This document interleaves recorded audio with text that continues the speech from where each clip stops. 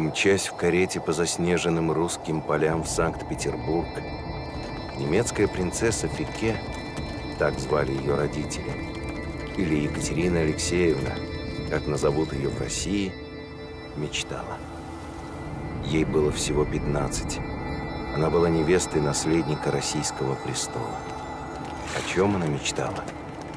Должно быть, как все юные девочки, о любви. Но ее мечты скоро разбились. В России ее никто любить не собирался. И тогда она сама полюбила Россию.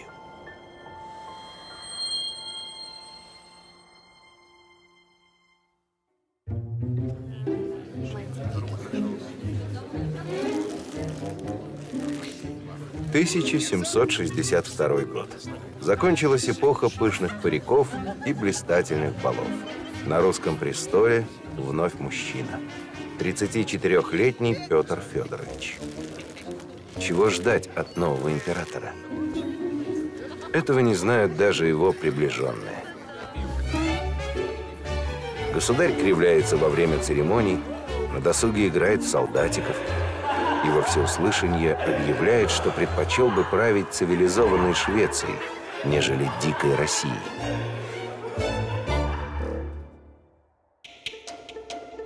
При рождении Петр III получил имя Карл Петер Ульрих. Его отец – герцог Галштейн-Гатторпский Карл Фридрих, племянник Карла XII шведского. Мать – Анна Петровна, дочь Петра Великого. Наследник одновременно русского и шведского престолов. В 11 лет полностью осиротел. В 14 лет его забрала в Россию тетка, императрица Елизавета. Он принял православие с именем Петр Федорович. В 17 лет Петра женили на 16-летней принцессе Ангальд-Цербской. В православии она получила имя Екатерина Алексеевна. Петру Федоровичу невеста не приглянулась. Красивая, но чужая. Он пробовал с ней подружиться. Играл для нее на скрипке, вовлекал в свои забавы. Увы, музыку она не любила. Солдатиков тоже. Обоим общение становилось в тягость. Екатерина была живой и любознательной. Приехав в Россию, она оказалась запертой. В чужой стране, в чужом дворце, без какого-либо общения. Мыслями и чувствами она теперь могла делиться только со своим дневником. Я очень хорошо видела, что великий князь меня совсем не любит – что с этим человеком я непременно буду очень несчастной. Петр Федорович своими выходками весь двор приводил в замешательство. Современники рисовали нелицеприятный портрет нового императора. Говорили, от Петра Великого он унаследовал страсть к горячительным напиткам и в высшей степени безразборчивую фамильярность, за которую ему мало кто благодарен – Говаривал такой вздор и такие нескладицы, что при слушании он их обливалось сердце кровью от стыда перед иностранными министрами. У этого государя нет более жестокого врага, чем он сам. Петр отличался взбалмошным характером и некоторыми странностями в поведении. Многие считали его умственно отсталым. Мол, в подростковом возрасте он переболел оспой в тяжелой форме, и это вызвало отклонение в развитии. Но при этом Петр получил прекрасное техническое образование. Хорошо разбирался в точных науках, географии и фортификации. Владел немецким, французским, даже латынью. Только вот русский язык знал плохо. Перспектива быть русским императором раздражала Петра Федоровича. Зато его супруга Екатерина Алексеевна прекрасно справилась не только с русским, но и с церковно-славянским языком. Она с увлечением читала летописи и жития святых. В разговоре полностью избавилась от акцента. Правда, на письме иногда делала ошибки, например, писала «мне» вместо «меня». Строила неправильные, но очень милые обороты. Любить со всего сердца. Чтобы выучить разговорный язык, она вставала пораньше и разводила камин вместе с истопниками, разговаривала со слугами. потому что образованные вельможи языком владели плохо.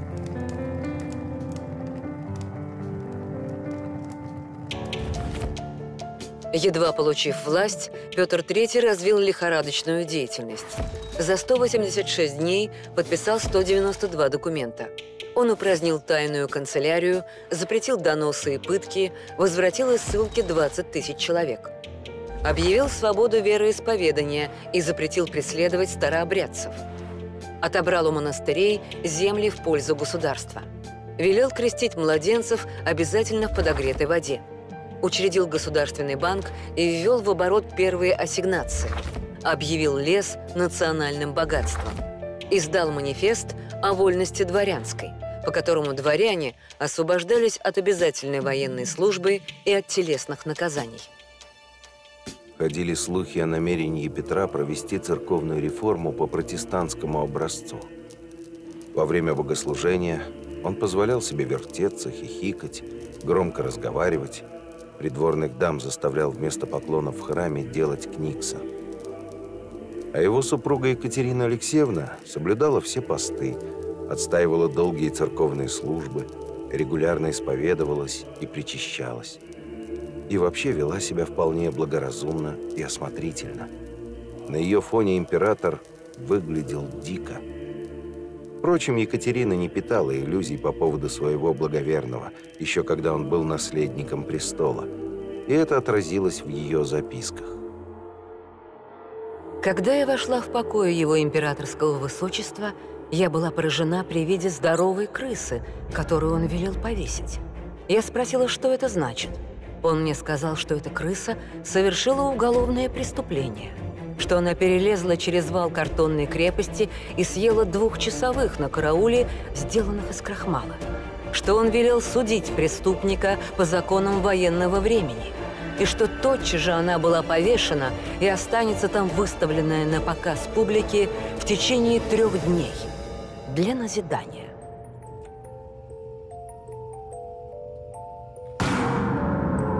У Екатерины и Петра не оказалось ничего общего. Ни образа мыслей, ни интересов, ни постели. Все во дворце знали, что великий князь не спит с великой княгиней. Спустя несколько лет это уже стало не поводом для сплетен, а государственной проблемой. Нужен был наследник.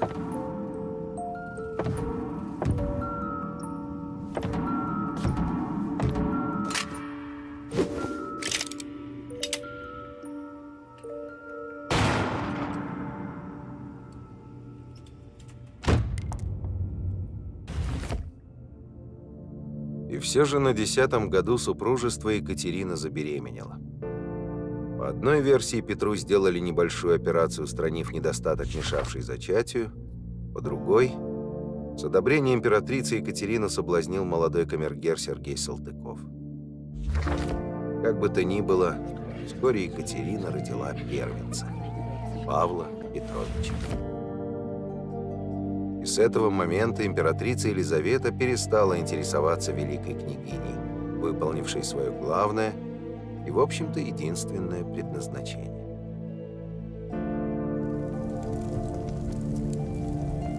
Екатерина была предоставлена самой себе. Теперь она без помех могла предаваться своей главной страсти – книгам –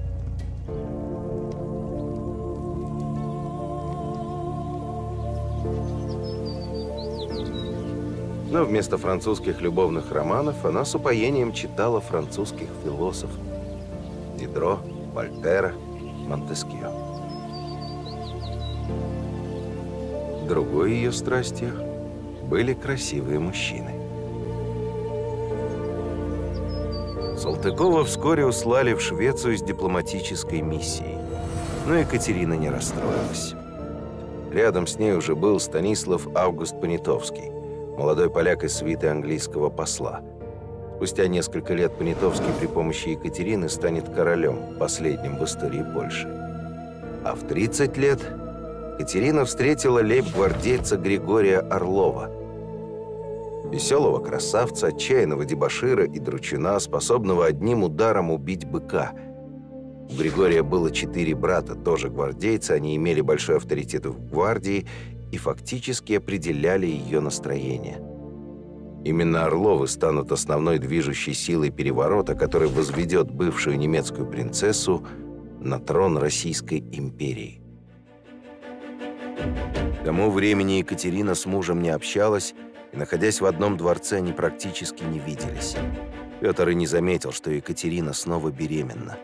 В этот раз отцом будущего ребенка был Григорий Орлов. Незаконно рожденный младенец мог предоставить Петру долгожданный повод избавиться от нелюбимой жены. Роды были уже совсем близко.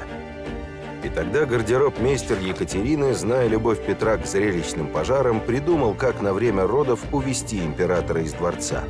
Он бежит в город и поджигает свой дом. Петру тотчас докладывают о грандиозном пожаре. Он в сопровождении придворных отправляется туда. А тем временем в дальних покоях Зимнего дворца Екатерина рожает сына. У Екатерины уже была дочь Анна от Понятовского. А после того, как она родила сына от Орлова, ее муж-император во всеуслышание заявил «Бог знает, откуда моя жена берет свои беременности. Я этого не знаю». Впрочем, он и сам не отличался супружеской верностью. У него была возлюбленная фрейлина Елизавета Воронцова, и он всерьез собирался на ней жениться. Для этого нужно было только устранить помеху, нелюбимую жену Екатерину. Петр готовил ей, сыну Павлу, заключение в Шлиссельбургскую крепость, где для них были оборудованы покои. Нелюбимая жена поняла, что действовать нужно быстро и решительно – тем более, что император как раз совершал одну ошибку за другой.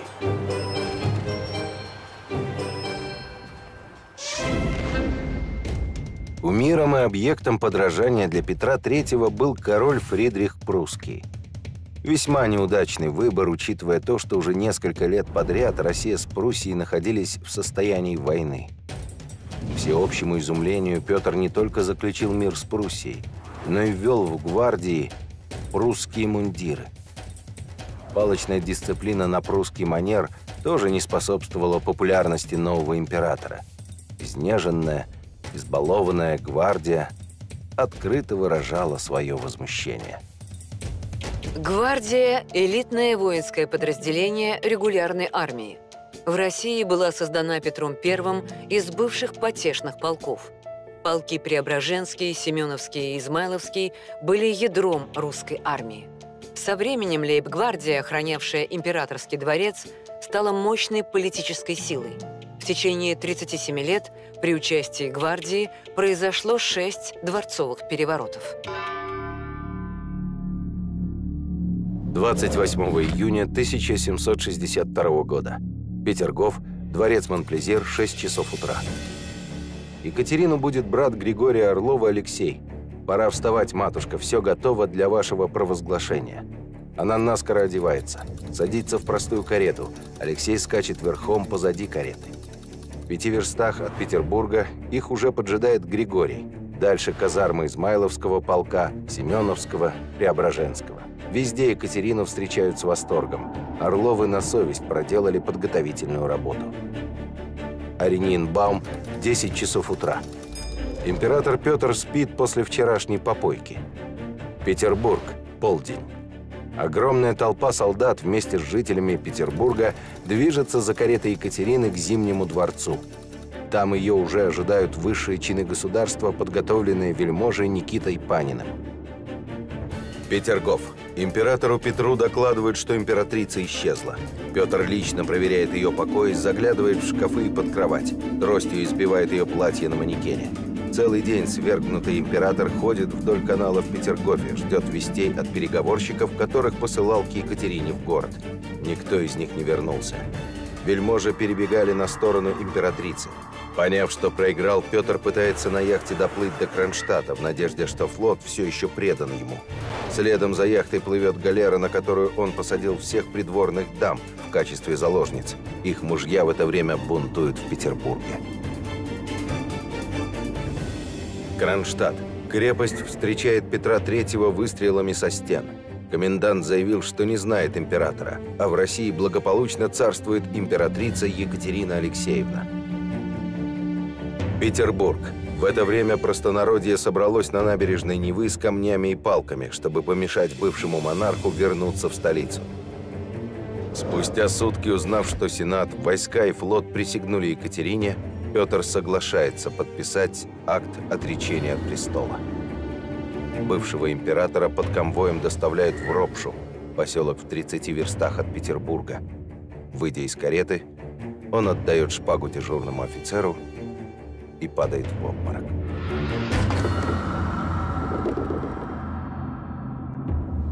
Императрица Екатерина не имела никаких прав на престол. Максимум, на что она могла претендовать, быть регентом при малолетнем сыне Павле. Все же она умудрилась придать перевороту благопристойный вид, чтобы все выглядело как исполнение воли народа. Прямо так и сказано было в манифесте о вступлении на престол Екатерины II – по желанию всех наших верноподданных. Но что делать с супругом? Он прислал письмо по-французски. Ее Величество может быть уверено, что я не буду ни помышлять, ни делать что-либо против ее особы и ее правления. И ниже приписка по-русски с детскими ошибками. Я еще прошу меня, ваша вола исполная во всем, отпустить меня в чужой край. Отпускать Петра за границу было опасно. Все-таки внук Петра Великого. Отправить в крепость Шлиссельбург? Но там уже 20 лет сидит еще один свергнутый император. Правнук Иоанна V Иоанн VI Антонович, лишенный трона Елизаветой. Два законных императора – две большие проблемы для незаконной императрицы – не прошло и недели после переворота, как из Ропши, где император Петр находился под охраной самых надежных людей, братьев Алексея и Григория Орловых, доставили письмо.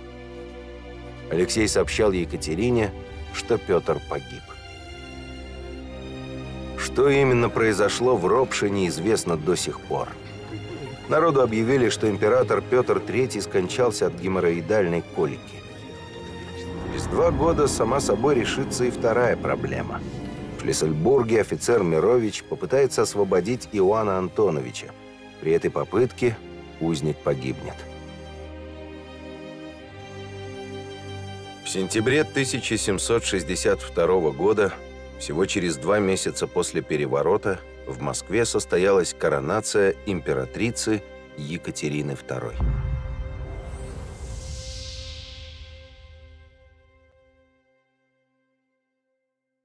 Во время коронации в Москве было роздано народу 1200 пудов серебра, более 19 тонн. На улицах стояли жареные быки и били фонтаны из рейнского вина. Состоялся маскарад с тысячами песельников, музыкантов, гигантов, карликов и шутов. Торжества длились три месяца. Главной достопримечательностью стала большая императорская корона – 4936 бриллиантов общим весом в 2858 карат. Благородная шпинель в 398 карат. 72 индийских жемчужины. Обошлась она в 2 миллиона рублей. 8 миллиардов на современные деньги. Екатерина оказалась первой и единственной женщиной на престоле, которая большую часть времени посвящала не развлечениям, о работе. В отличие от своих предшественниц, она вела размеренный образ жизни. Предпочитала диетические продукты. Любимым блюдом была отварная говядина с солеными огурцами. Почти не пила спиртного. Даже на парадных обедах в ее бокале было не вино, а сок черной смородины. И всегда придерживалась строгого распорядка дня. Екатерина II вставала в 6 утра, до 8.30 читала и составляла свои сочинения – с 9 до 11 с помощью секретарей работала с бумагами. С 11 до 13 туалет, совмещенный с придворным приемом. С 13 до 14 – обед. С 14 до 16 ей читали вслух, затем до 18 снова прием посетителей. И только потом отдых, прогулка, спектакль, карточная игра. В 21.00 ужин. Не позже 22 часов она ложилась спать.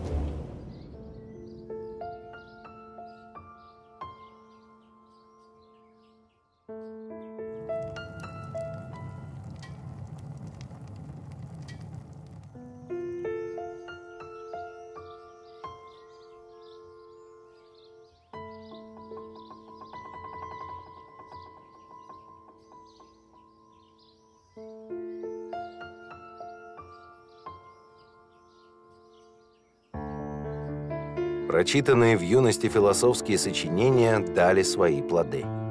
Императрица вознамерилась установить в России новый порядок – просвещенный абсолютизм.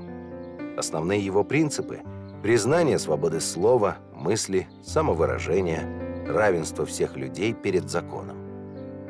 Но в Российской империи все еще использовалось соборное уложение 1649 года, безнадежно устаревшее. Для разработки нового уложения Екатерина велела созвать специальную комиссию.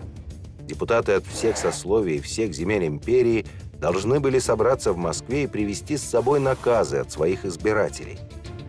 Все два года, пока шел созыв комиссии, императрица составляла собственный наказ для депутатов – «Я занимаюсь законобесием», – шутливо говорила она, работая порой по 15 часов в сутки. Тезисы о правовом государстве, запрете смертной казни, презумпции невиновности. Лакеи едва успевали наполнять чернильницу и очинять перья. Даже в урезанном виде наказ вызвал бурю возмущения в России и произвел сильное впечатление в Европе. Во Франции, на родине вольнодумства, он был даже запрещен к распространению – Зато теперь внимание всей Европы было приковано к Екатерине и ее законотворчеству. Русская императрица настолько прогрессивна, что созвала комиссию для составления законов. Неслыханно. Комиссия по составлению уложения состояла из всех категорий населения, кроме крепостных и духовенства.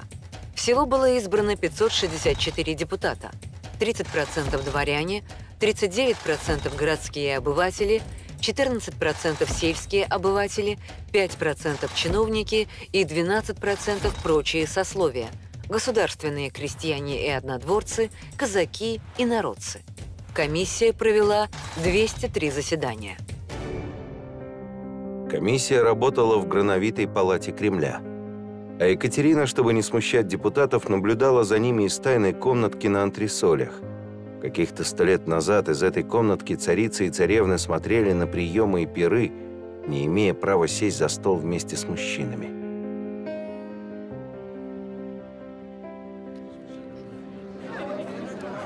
Чем дольше заседала комиссия, тем яснее становилось, что никакого общественного договора она выработать не может.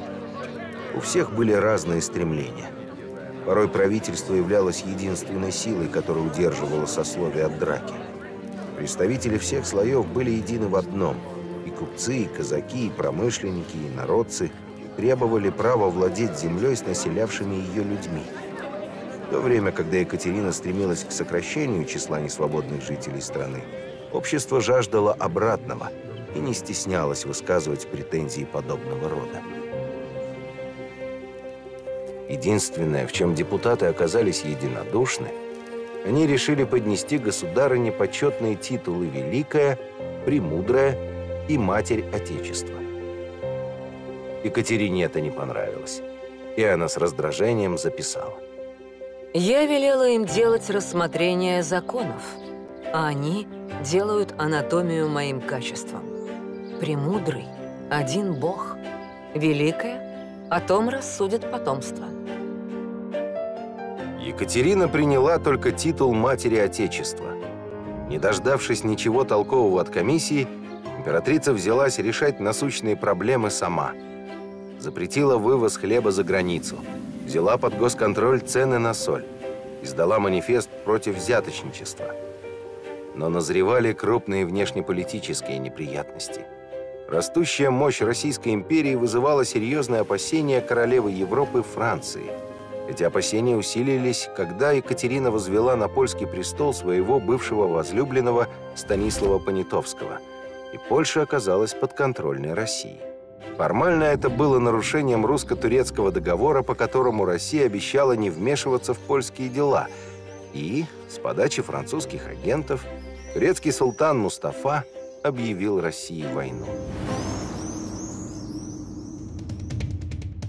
Екатерина отправила навстречу противнику отборные войска и лучших полководцев.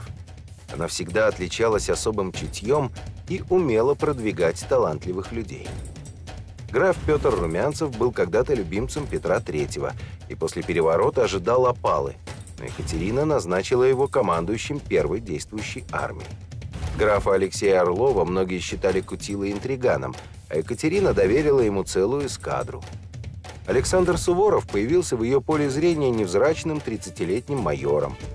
Она подарила ему свой портрет, на котором много лет спустя Суворов напишет «Это свидание проложило мне путь к славе». Он одержит победы в 93 сражениях и станет единственным в мировой истории полководцем, не потерпевшим ни одного поражения. 18 июля 1770 год. Битва на реке Ларго. Командующий Петр Румянцев. Разбито войско с двукратным численным перевесом. Русские 38 тысяч, турки 80 тысяч. 5, 6, 7 июля 1770 год. Сражение в Чесменской бухте. Командующий Алексей Орлов.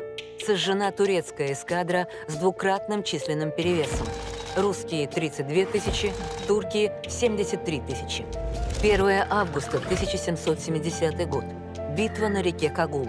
Командующий Петр Румянцев. Разбито турецкое войско с численным перевесом в пять раз. Русские 32 тысячи, турки 150 тысяч. 20 июня 1774 год. Битва у города Козлуджи. Командующий Александр Суворов. Разбито войско со значительным перевесом. Русские 25 тысяч, турки 40 тысяч. Так началась эпоха громкой славы русского оружия. Победоносная война с турками привлекла всеобщее внимание – Истолюбивые молодые офицеры со всей Европы приезжали записываться в русскую армию, в том числе испанец Хосе де Рибас, будущий основатель Одессы, а также корсиканец Наполеон Бонапарт, который передумал только из-за того, что иностранцев брали на русскую службу с понижением в чине.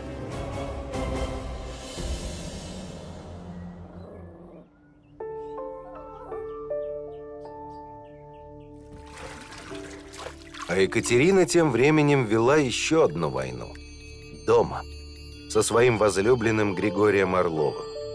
Григорий отличался бешеным темпераментом, который проявлялся во всем.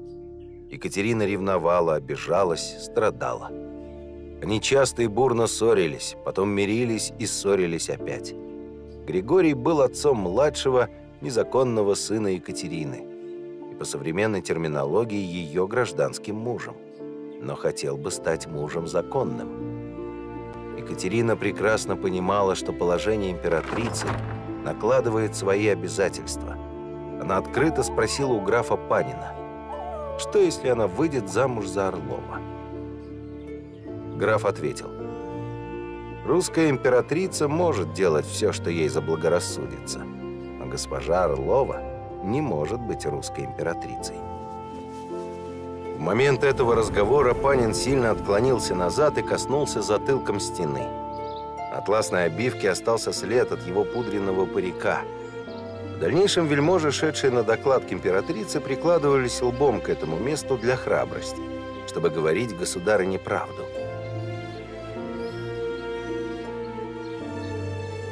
На двенадцатом году совместной жизни Екатерина уже порядком устала от выхода к Григория. В это время в Москве вспыхнула эпидемия чумы. Ежедневно умирали более тысячи человек. Все городское начальство бежало. В городе начался бунт. Орлов сам вызвался поехать в зачумленную Москву. С помощью гвардейских полков он быстро подавил бунт, организовал санитарные команды, на собственные средства открыл больницы и приюты. Через месяц эпидемия пошла на убыль. Орлов вернулся в Петербург триумфатором. Любовь императрицы вспыхнула с новой силой. А через два года, когда Орлов отправился на переговоры с турками, она завела себе нового фаворита – молоденького корнета Александра Васильчикова. Когда разъяренный Григорий, прервав переговоры, мчался разбираться, в нескольких верстах от столицы его перехватил курьер императрицы и передал ему строгий приказ – отправляться в свой Гатчинский дворец – и отныне при дворе не появляться. Орлов успокоился через несколько месяцев и получил милостивое разрешение вернуться в столицу. С императрицей с тех пор они поддерживали дружеские отношения. Наследник Павел Петрович подрастал, и все чаще звучали голоса, что императрице была вручена корона только на время несовершеннолетия сына. Она должна передать венец или сделать Павла соправителем.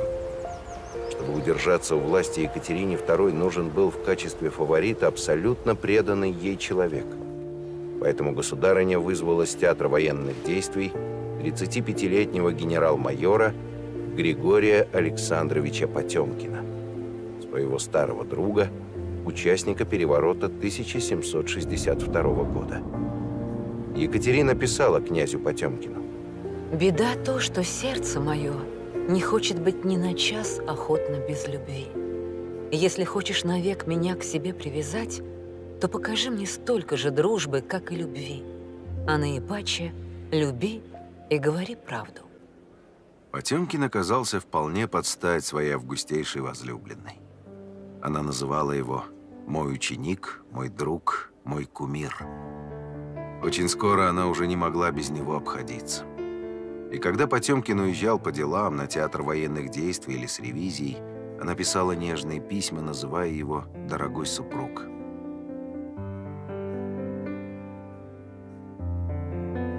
Роман начался весной, а уже летом Екатерина решилась выйти за любимого замуж. Тайное венчание Екатерины и Потемкина состоялось 8 июня 1774 года церкви святого Самсония Странноприимца на Выборгской стороне. Через год родилась дочь Елизавета Григорьевна, которой дали фамилию отца, но в урезанном виде – Тёмкина. А еще через год в их отношениях наступил кризис.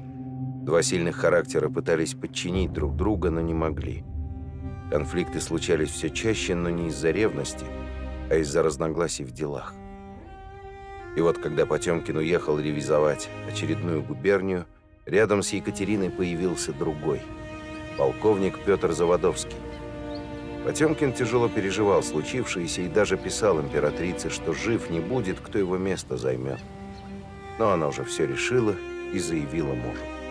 Верности первый знак есть покорность. Красивый и умный Заводовский продержался в фаворитах всего год. А потом на смену ему пришел гусар Семен Зорич, на 14 лет моложе императрицы.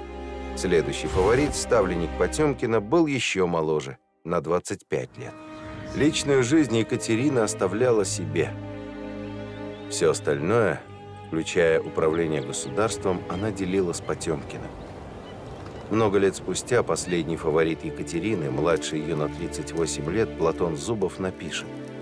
Императрица всегда сама шла навстречу желаниям Потемкина и просто боялась его как взыскательного супруга. Меня же она только любила и часто указывала на него, чтобы я брал с него пример. Именно Потемкин со всей своей неукротимой энергией взялся осваивать новые земли у Черного моря, которые так и назывались Новороссия. Обширная территория Северного Причерноморья и Приазовья, плодородная, но почти не освоенная степь, перешла к России после русско-турецкой войны по условиям Кючук-Канаржийского мирного договора а благодаря придуманной и организованной Потемкиным многоходовой комбинации в состав Российской империи вскоре вошел и Крым. Всего за четыре года Потемкин привлек на новые земли 400 тысяч поселенцев.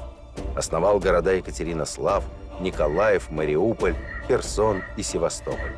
Создал основы Черноморского флота, эскадру фрегатов и линейных кораблей, построенных на верфях Таганрога и Херсона – и пригласил Екатерину лично проинспектировать, как идут дела в новых областях. Он же организовал, вплоть до мелочей, грандиозное путешествие императрицы, аналогов которому нет в мировой истории. В путешествии приняли участие 3000 человек. Поезд состоял из 14 карет и 164 саней, в том числе 40 запасных.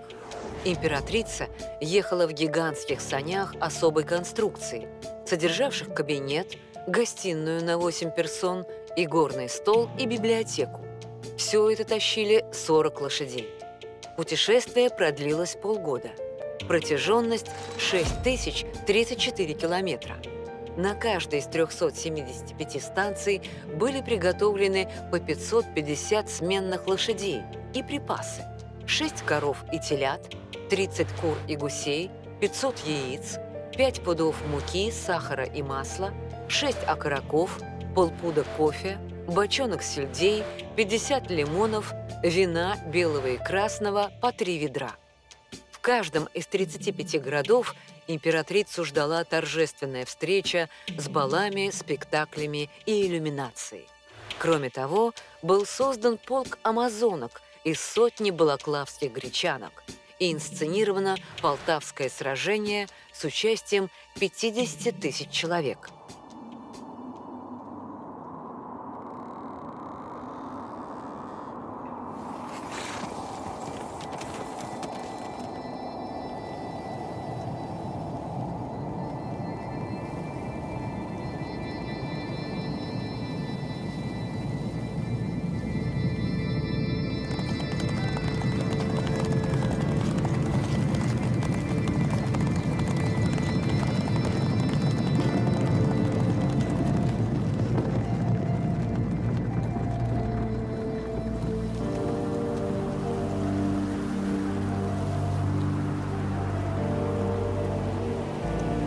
путешествие вошло в легенды и даже послужило поводом для мифотворчества.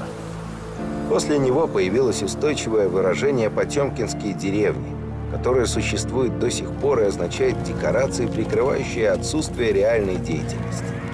Говорили, что деревни по маршруту путешествия императрицы нарисованы на листах фанеры, крестьяне – ряженые статисты, а тучное стадо было всего одно, которое перегоняли с места на место. На самом деле в Новороссии все деревни, города и поселенцы были настоящими. А миф возник в среде иностранных дипломатов, которые уверяли свои правительства, что Россия плохо закрепилась на присоединенных землях. Принимая приветствие и словословия подданных в Новороссии, императрица чувствовала себя в полной мере матерью Отечества. Австрийский император Иосиф и иностранные дипломаты, сопровождавшие Екатерину в путешествии, получили сильное впечатление, как она того и добивалась. И все это вызвало мощный международный резонанс. В результате Османская империя решила отвоевать обратно свои земли и снова объявила России войну. Никогда, ни до, ни после русская армия не знала столь блистательных побед. Теперь рядом с Румянцевым и Суворовым зашла звезда адмирала Ушакова. После первой же победы над турками императрица произвела 44-летнего бригадира сразу в контр-адмиралы. За два года он одержал четыре блистательные победы над значительно превосходящим по численности противником. Ушаковская тактика сражений вошла в учебники теории морского боя.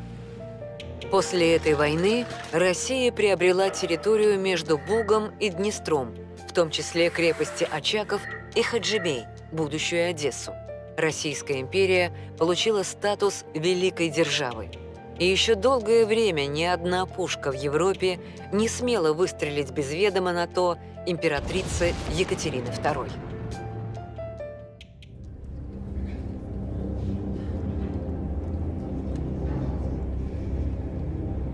Зато в самой империи дела обстояли не лучшим образом. Власть самой могущественной женщины эпохи постоянно пытались оспорить.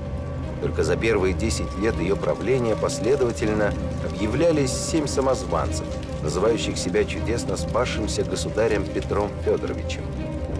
На одиннадцатом году появился восьмой лже-Петр, который объявил своей якобы супруге настоящую войну. Его звали Емельян Пугачев. Еще недавно он был обычным донским казаком, отличился на Семилетней войне, был ранен, должен был вернуться домой, но помог товарищам бежать со службы и пришлось стать беглым самому. Оказался на Урале среди яицких казаков и, назвавшись воскресшим мужем императрицы Екатерины, Пугачев возглавил казачий бунт, вылившийся в крестьянскую войну. В своем императорском манифесте черному люду, казакам, рабочим уральских заводов, башкирам, калмыкам, татарам, казахам Пугачев пообещал всего вдоволь.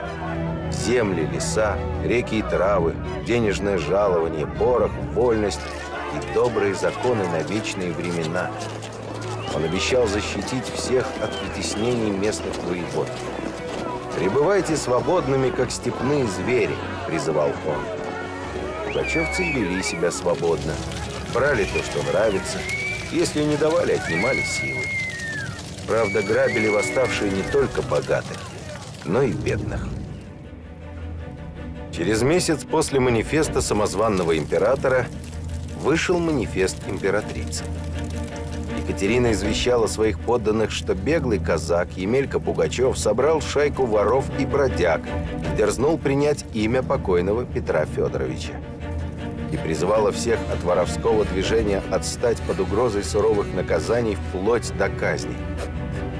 Но было уже поздно. Всего за месяц шайка Пугачева, отряд из 80 человек, выросла в 100 раз. За три месяца превратилась в настоящую армию из 24 тысяч человек. Казаков, рабочих уральских заводов, крестьян, башкир и калмыков. Восстание охватило огромные территории и приняло угрожающий размах. Разгорелся тот самый страшный русский бунт, бессмысленный и беспощадный. Только на Урале из 89 заводов 23 были сожжены или разрушены полностью. 33 завода разграблены. Заводовладельцы понесли убытки на сумму свыше 1 миллиона рублей. В современном эквиваленте около 5 миллиардов. Убытки мастеровых, работных людей, приписных крестьян в результате сожжения их домов, расхищения скота и домашнего имущества составили свыше 1 миллиона рублей. В заводских поселках и приписных деревнях погибли и пропали без вести 2716 душ мужского пола. Екатерина направила против бунтовщиков карательные отряды, но они терпели поражение за поражением, а Пугачев брал город за городом. Три губернии – Казанская, Нижегородская, Воронежская – уже были охвачены восстанием. В условиях войны на юге с турками правительство не могло отправить регулярные войска. Этим и объяснялись быстрые успехи Пугачева. Как только мир был заключен и на внутренний театр военных действий стали перебрасывать войска, возмущение было подавлено.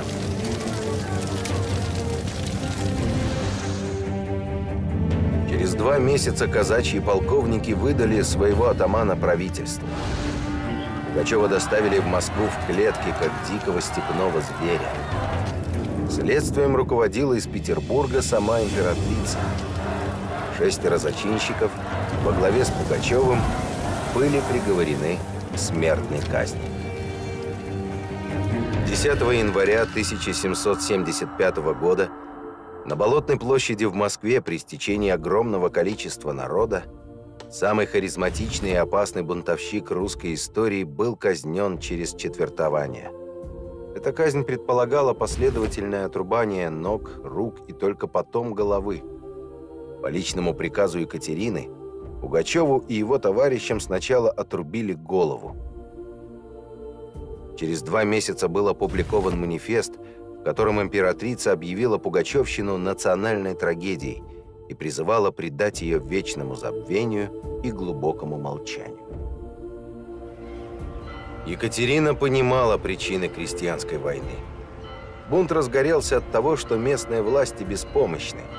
значит, огромная страна из рук вон плохо организована. И Екатерина взялась перекроить империю. «Умру от проворства пера», – писала она другу-просветителю Вольтеру, «потому что в жизни моей я столько не царапала, сколько теперь». За шесть месяцев она написала 215 страниц, капитальный труд – учреждения для управления губернией Всероссийской империи. Реформа меняла административное деление страны. Вместо 23 губерний стало 50, по 200-300 тысяч душ в каждой. Губернии делились на 10-20 уездов, в каждом по 20-30 тысяч душ. Управление организовывалось через губернские и уездные города – Статус города получили 216 крупных деревень. Каждый город, от столичного до уездного, выделялся в отдельную административную единицу, разбивался на районы и кварталы. Эта система почти без изменений существовала вплоть до 1917 года. Некоторые ее принципы используются до сих пор. Но реформаторская деятельность Екатерины омрачилась известием о казни короля Франции. И хотя Екатерина II не дружила с королем Людовиком XVI, от этого известия она слегла в постель. Французскую монархию потрясла революция. Великая французская революция. Крупнейший социальный переворот нового времени.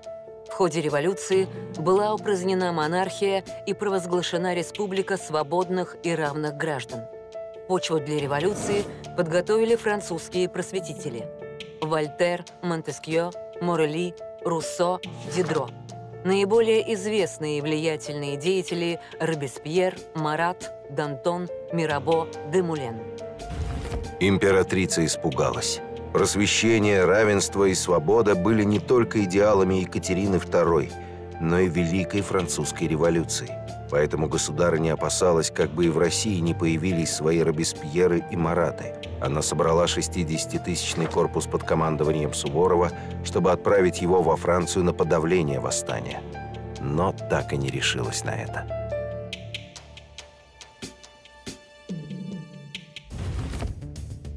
Екатерина никогда не забывала о титуле «Матери Отечества», не было такой сферы, которую бы она не старалась регламентировать и обустроить, начиная от управления губерниями до обязанностей повивальных бабок. Она положила начало русской сатирической журналистики, была издателем и основным автором журнала «Всякая всячина». В союзе с прусским королем Фридрихом и австрийским Иосифом устроила раздел Польши и без войны присоединила к России земли Белоруссии, правобережной Украины, Литвы и Латвии написала не менее трех десятков литературных произведений, в том числе 11 комедий и 7 опер.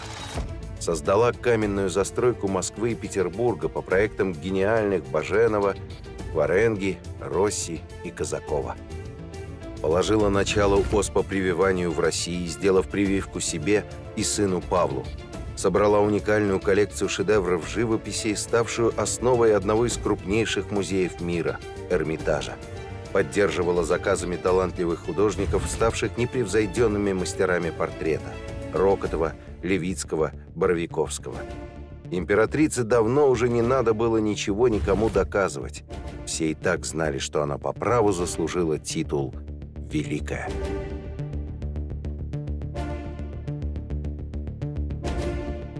За 34 года правления Екатерины II численность населения Российской империи увеличилась с 19 до 36 миллионов человек. Территории, завоеванные для России Екатериной II, превысили все завоевания Петра I. Было устроено 29 новых губерний и создано 144 новых города. Армия возросла со 162 тысяч человек до 312 тысяч. Флот шести фрегатов и 21 линейного корабля усилен до 40 фрегатов и 67 линейных. Одержано 78 военных побед. Выплавка чугуна выросла почти в три раза – от 3600 до 9900 пудов – по количеству чугуна Россия заняла первое место в мире, опередив Англию. Оборот внешней торговли увеличился с 9 миллионов 390 тысяч до 45 миллионов 900 тысяч рублей. Государственные доходы выросли в 4 раза – с 16 миллионов рублей до 69 миллионов. Екатерина II сумела вывести построенный Петром Великим корабль Российской империи в большое плавание. Для многих последующих поколений Екатерининское время было эпохой наивысшей славы и могущества Российской империи.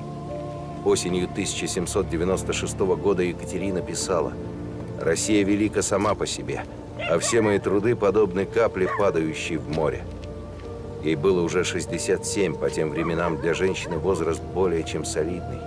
К Рождеству она готовила манифест о передаче власти в обход нелюбимого сына Павла Петровича, хотела сделать императором любимого внука 19-летнего Александра Павловича. Но до Рождества она не дожила. 6 ноября 1796 года Екатерина Великая умерла от инсульта. Неожиданно для всех императором стал 42-летний Павел. Не пройдет и месяца, как всем станет ясно, почему императрица хотела отстранить его от престола. Екатерина Великая никогда не ошибалась.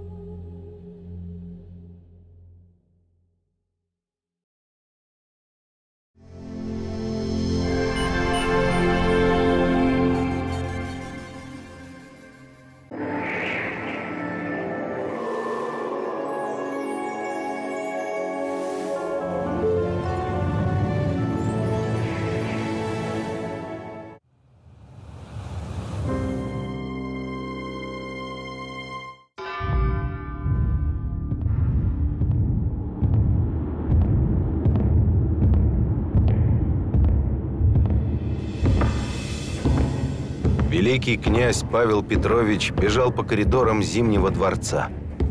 Его матушка Екатерина Великая при смерти. И теперь всего несколько шагов отделяют его от трона. Если бы не тайное завещание императрицы. Нет, его нужно найти и уничтожить. Любой ценой. Иначе власть перейдет к сыну Александру в обход него, прямого наследника. Александр был рожден, чтобы стать императором. Для этого ему дано все. Ум, красота, талант. Кроме одного. Желание править.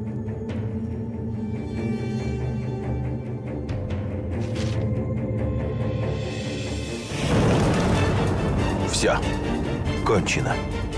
Павел ждал этого 34 года. Он император.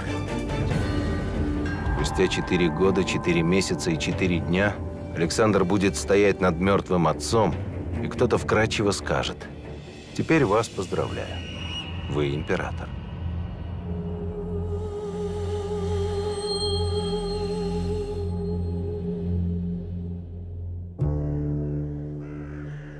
Рождение цесаревича Павла Петровича вызвало всеобщую радость.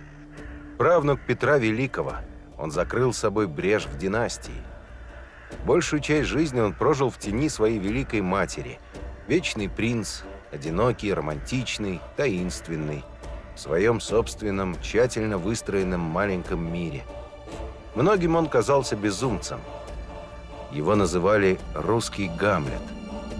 И на то были все основания.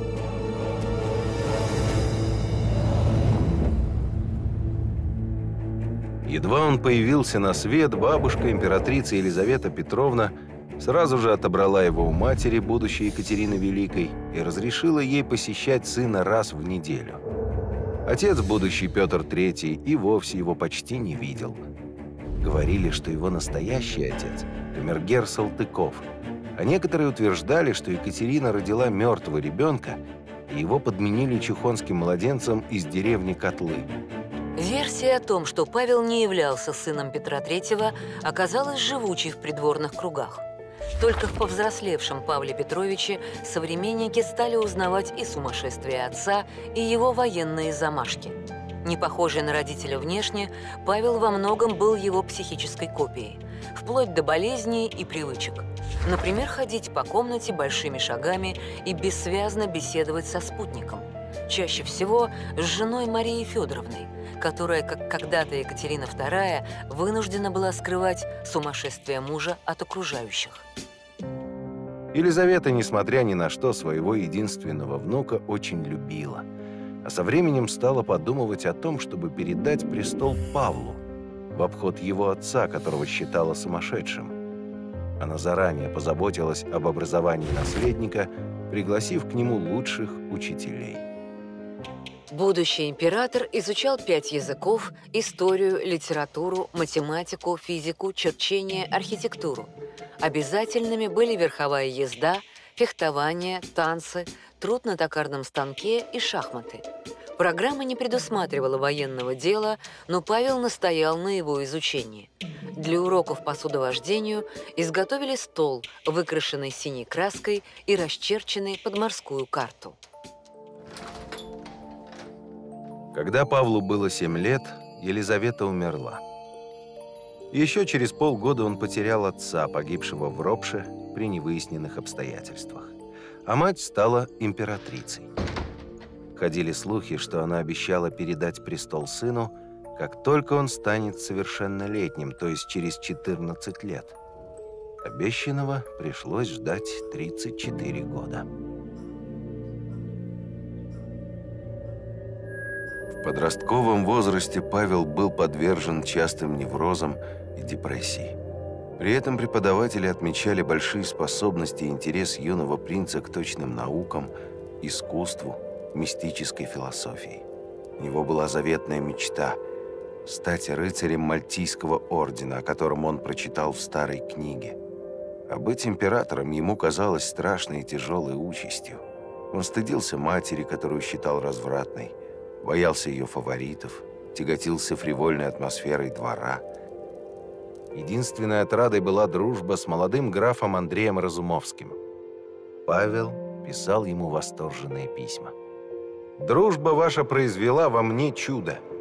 Я начинаю отрешаться от моей прежней подозрительности. Прочь химеры, прочь тревожные заботы».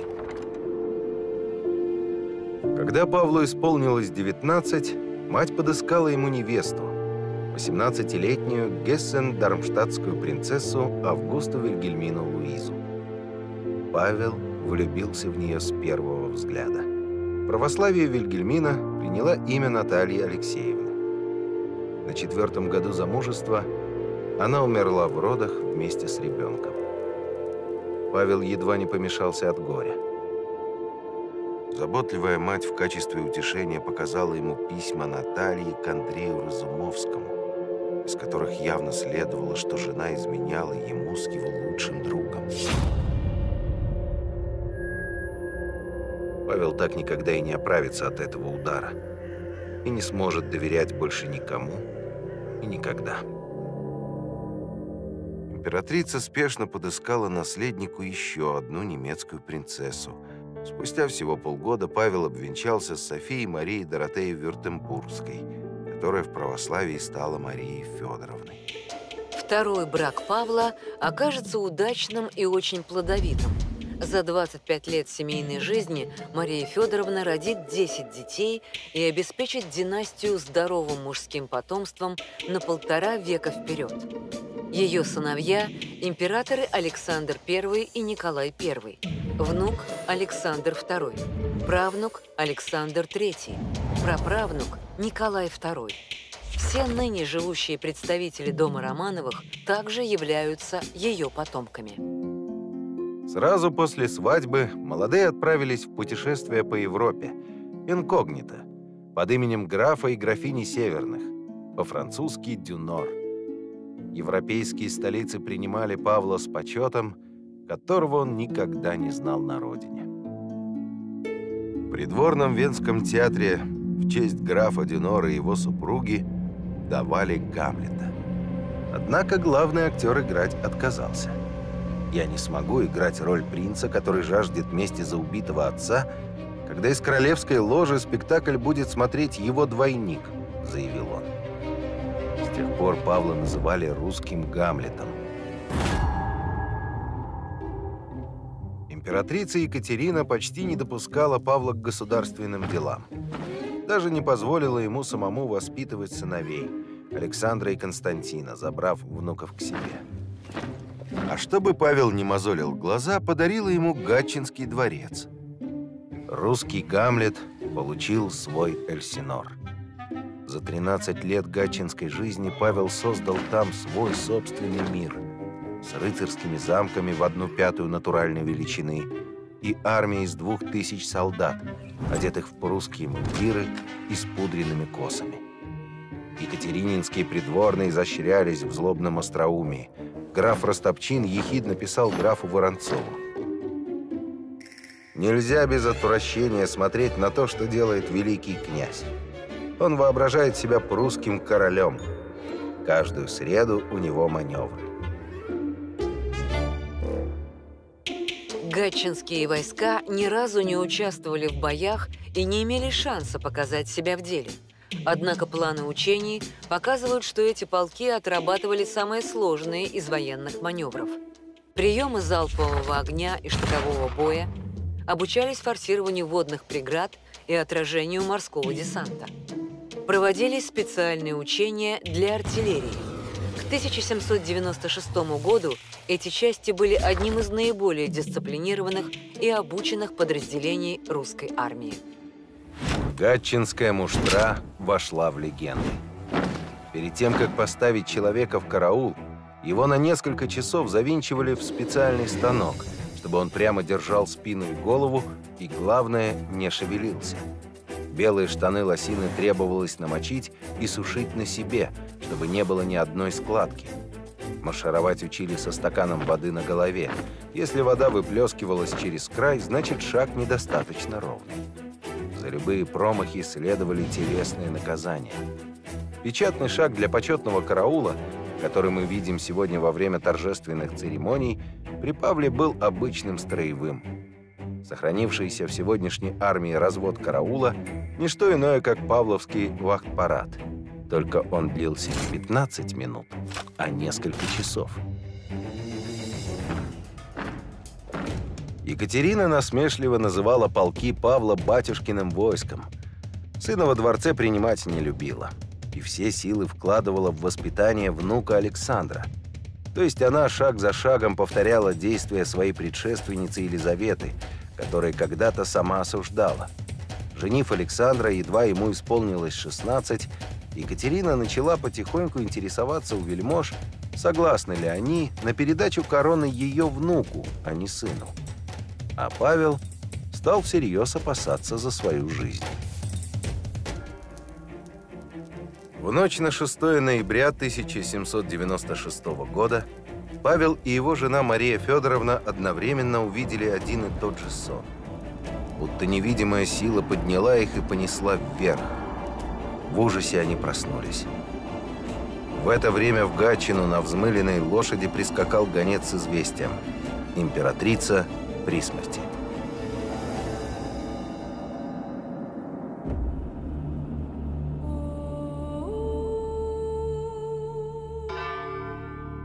Спустя несколько часов 42-летний Павел стал императором.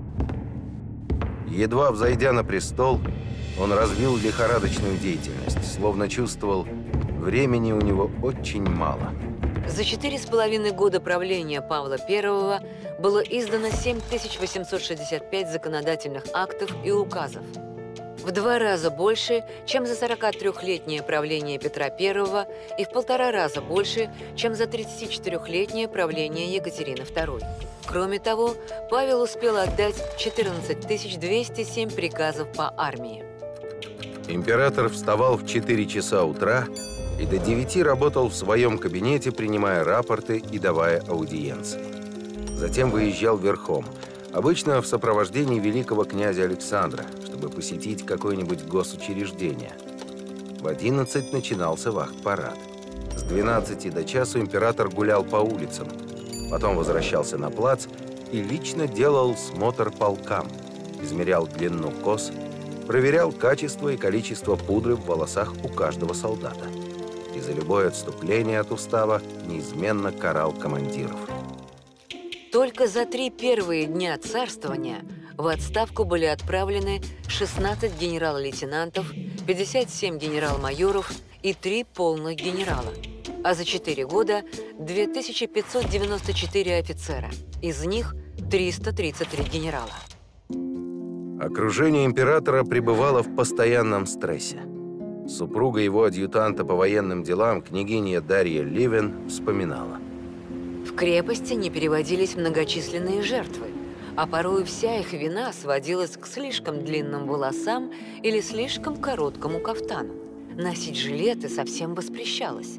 Достаточно было императору где-нибудь на улице заприметить жилет, и тотчас же его злосчастный обладатель попадал на гауптвахту. Случалось туда попадать и дамам, если они при встречах с Павлом не выскакивали достаточно стремительно из экипажа или не делали достаточно глубокого реверанса. Благодаря этому в час обычной прогулки государя улицы Петербурга совершенно пустели. Все трепетало перед императором. Сам себе Павел представлялся идеалом средневекового рыцаря на троне. В исполнении своей детской мечты он взял под опеку Мальтийский рыцарский орден. Когда Наполеон завоевал Мальту, Павел предоставил ордену убежище в России и даже стал его великим магистром несмотря на то, что орден католический, а он, Павел, православный. Первым из Романовых он встретился с Папой Римским и пригласил его святейшество в Россию, в гости. А может быть, даже насовсем, поскольку Рим тоже был захвачен Наполеоном. Глазах Павла Наполеон олицетворял мировое зло, против которого любой рыцарь должен бороться всеми силами. Поэтому русский император вступил в антинаполеоновскую коалицию и отправил против французов армию во главе с прославленным фельдмаршалом Суворовым. Суворовские войска трижды разбили французов в Швейцарии и совершили знаменитый переход через Альпы, преодолели перевал Сен-Готард, через который и сейчас решаются пройти только опытные альпинисты с полным снаряжением. Павел, хотя и не любил Суворова, в письме фельдмаршалу не смог удержаться от восхищения. Не доставало вам одного рода славы – преодолеть и самую природу, но вы над нею одержали ныне верх.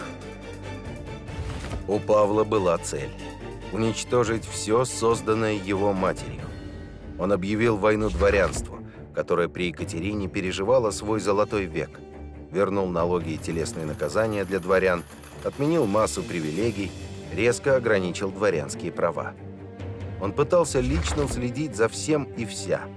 На столе государя росла гора непрочитанных жалоб и нерассмотренных рапортов. В учреждениях из-за массовых увольнений чиновников работать стало некому. Английский посол в России Чарльз Витворд, пристально наблюдавший за императором, писал своему правительству тревожные донесения. Император сошел с ума. С тех пор, как он вступил на престол, психическое расстройство его стало усиливаться. Странностей в поведении государя становилось все больше. Павел избегал выезжать на набережную. Он боялся, как бы сильный ветер не сдул ему голову, как мыльный пузырь. По ночам император не мог заснуть, не помогали даже лекарства с опиумом. Марии Федоровне приходилось ночи напролет ходить с мужем под руку, чтобы он не приставал к часовым со своими бессвязными разговорами. К этому времени против Павла уже составился заговор. Губернатор Санкт-Петербурга граф Палин, вице-канцлер Никита Панин, фаворит Екатерины II Платон Зубов, генералы Бенниксон и Уваров, английский посол Витвард и многие другие, по разным сведениям, до 300 человек. Великий князь Александр не присоединился к заговорщикам, но и мешать им не стал. Он лишь потребовал, чтобы ни один волос не упал с головы отца. Заговорщики в этом поклялись, Предполагалось, что Павел подпишет отречение и удалится на покой в свой любимый Михайловский замок, или в самом крайнем случае будет посажен в крепость. Михайловский замок был воплощенной в камне мечтой Павла. Он рисовал его на протяжении 12 лет, а зодчие Баженов и Бренна превратили императорские эскизы в архитектурный проект – Замок построили в рекордные три с половиной года. К моменту торжественного открытия внутренняя отделка еще не была закончена. Темные лестницы и жуткие коридоры, в которых днем и ночью горели лампы, придавали дворцу вид лабиринта. На площадках гулял ветер. Но Павел был доволен и велел двору немедленно переезжать в замок своей мечты.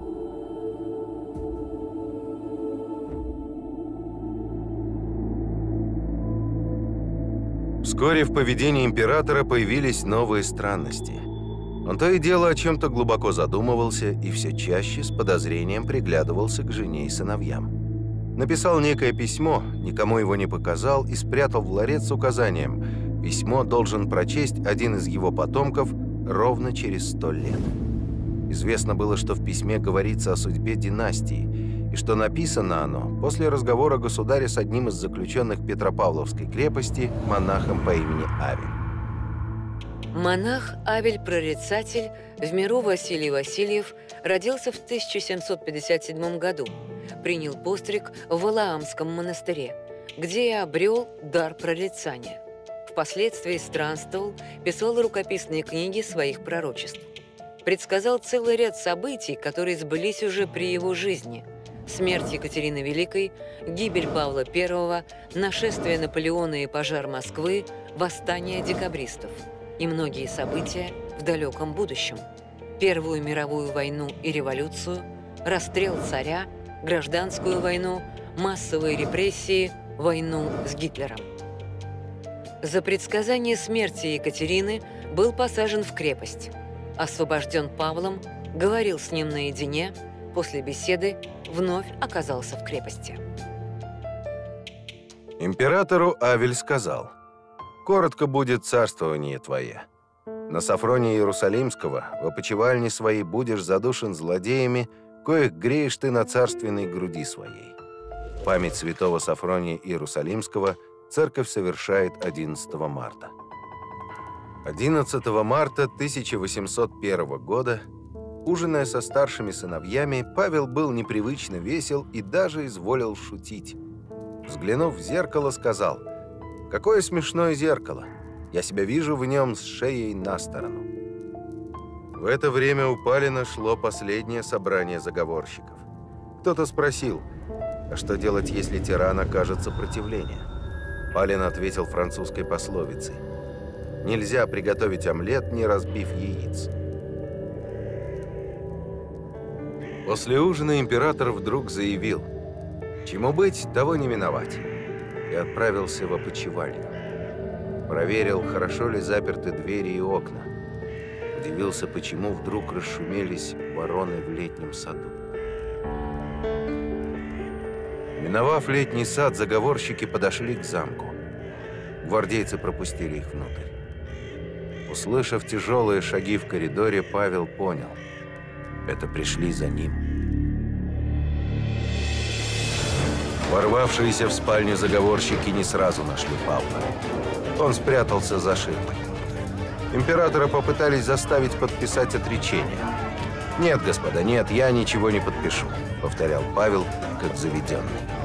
Платон Зубов ударил его в висок золотой табакеркой, как кастет. Павел упал. Последовала безобразная сцена. Гвардейские офицеры топтали ногами своего государя. Павел отчаянно сопротивлялся один против двенадцати и был задушен своим собственным офицерским шарфом из белого атласа.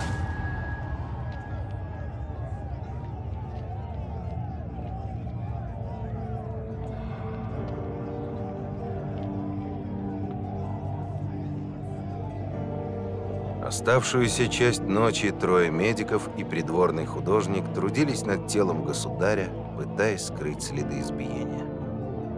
Народу сообщили, что император Павел I скончался в результате апоплексического удара, инсульта.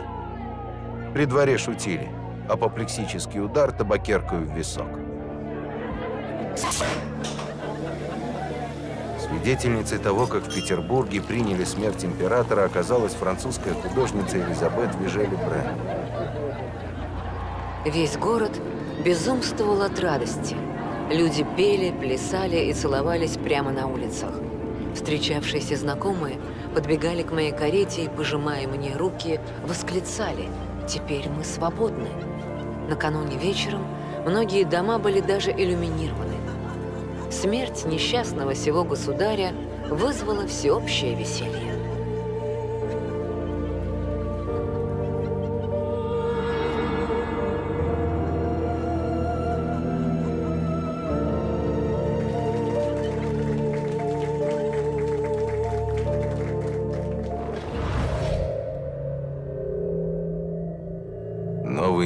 Император, 24-летний Александр Павлович, спустя несколько часов после смерти отца издал манифест, в котором обещал управлять по уму и по сердцу своей премудрой бабки. Веселья и поздравлений он будто не слышал, не в силах прийти в себя после кошмара прошедшей ночи. Он ведь хотел как лучше. Защитить страну от душевно больного государя, а государя от ненавидящей его страны. Но благими намерениями, как всегда, оказалась вымощена дорога в ад. Его личный ад, который он будет носить в себе до конца жизни.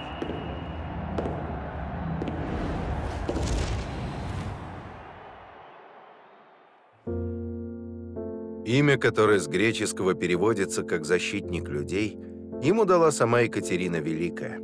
Официально в честь святого князя Невского – на самом деле в честь великого полководца Македонского. Всю свою нерастраченную материнскую любовь императрица обрушила на первого внука, забрав его у родителей. К тому же мальчик оказался необыкновенно хорош собой. Екатерина с гордостью писала о маленьком принце своему давнему другу барону Гримму. «Он будет любезен, я в этом не обманусь.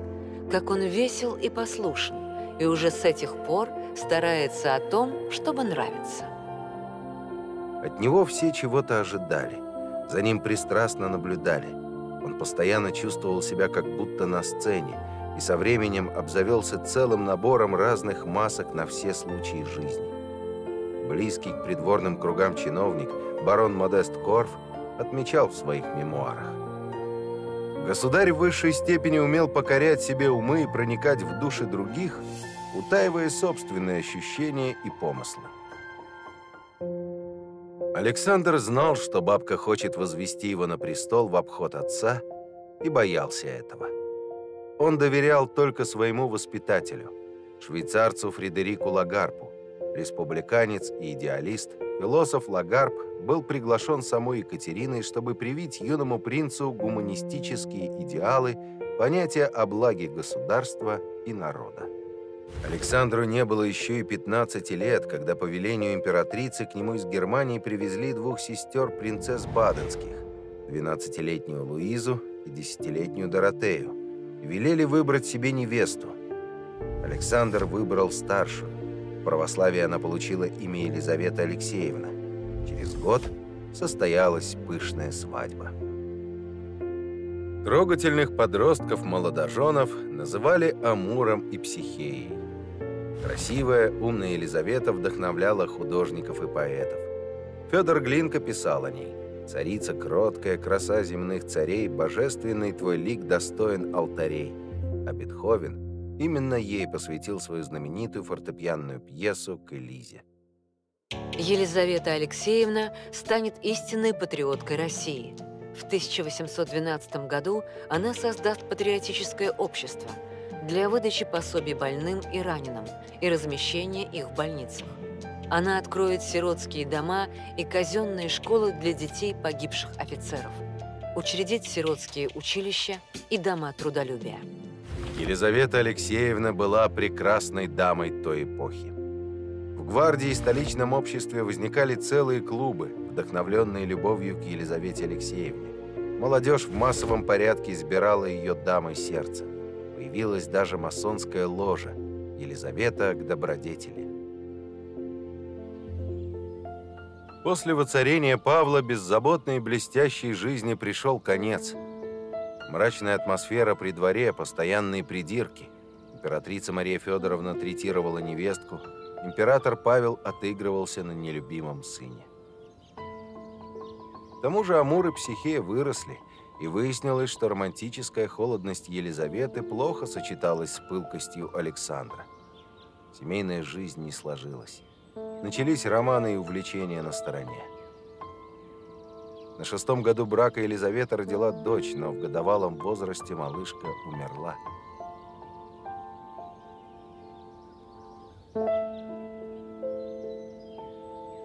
С каждым годом Александр все отчетливее понимал – он не хочет быть императором. У него появилась мечта бросить все, уехать с женой куда-нибудь на берега Рейна и провести в романтическом уединении всю жизнь. В письме к близкому другу, графу Кочубею, Александр как-то признался. «Я осознаю, что рожден не для того сана, который ношу теперь, и еще менее для предназначенного мне в будущем, которого я дал себе клятву отказаться тем или другим способом.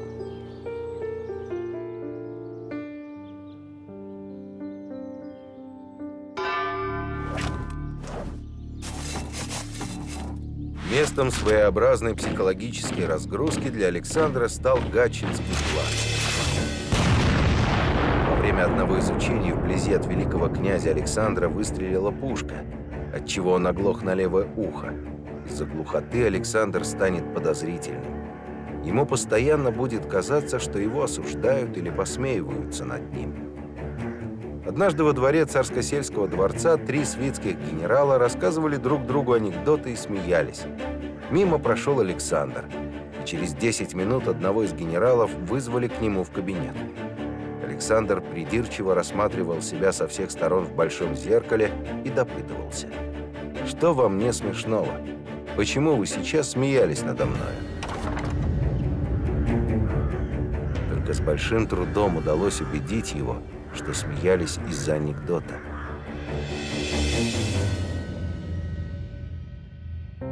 После гибели отца первое, что поспешил сделать Александр, едва оправившись от потрясения, отменить все непопулярные указы и распоряжения Павла. Он закрыл тайную канцелярию, разрешил выезд за границу, восстановил в должности 12 тысяч офицеров, освободил заключенных из ссыльных, восстановил права и привилегии дворянства. Со всех сторон ему настойчиво предлагали противоречивые проекты и планы. Александр собрал себе новую команду из друзей и единомышленников, европейски образованных молодых либералов. В результате двухлетней деятельности негласного комитета были учреждены министерства взамен устаревших коллегий. Проведена прогрессивная реформа образования – бессословность высшего образования, мягкий цензурный устав, пять новых университетов. Предпринята первая попытка решения крестьянского вопроса. Указ о вольных хлебопашцах, по которому помещики имели право освобождать крестьян с землей за выкуп. Реформы шли слишком медленно и тяжело. Александр был разочарован – Ему казалось, что каждый преследует свои цели, не считаясь его мечтой об общем благе. Но Александр все же нашел человека, которому казалось суждено воплотить в жизнь все его благие намерения. Бывший семинарист и гений юриспруденции Михаил Спиранский. Сначала он был секретарем при негласном комитете, вскоре император сделал его своим доверенным лицом а сам с головой погрузился в хитросплетение внешней политики.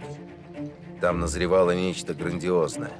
Первый консул Французской республики, вскоре ставший императором, Наполеон Бонапарт, вел одну за другой победоносные войны, добиваясь власти над всей Европой. В 1805 году они встретились под Аустерлицем битве трех императоров. Александр I и австрийский император Франц II – против Наполеона. Официально главнокомандующим русской армией был старый опытный генерал Михаил Кутузов, но Александр, ревнуя к полководческой славе Наполеона, захотел командовать сам.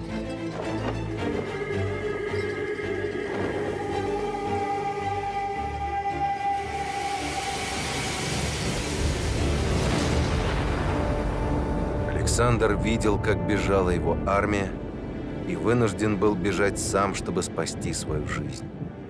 И многие видели, как государь рыдал и трясся, не в силах взять себя в руки даже перед лицом своих солдат. Казаки достали ему вина. Он с трудом успокоился и уснул в сарае на соломе.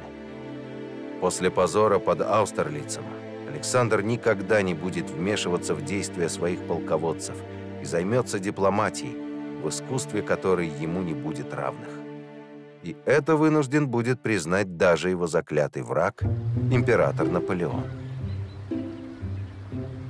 Русский император легко вкрадывается в душу, но доверять ему нельзя. У него нет искренности.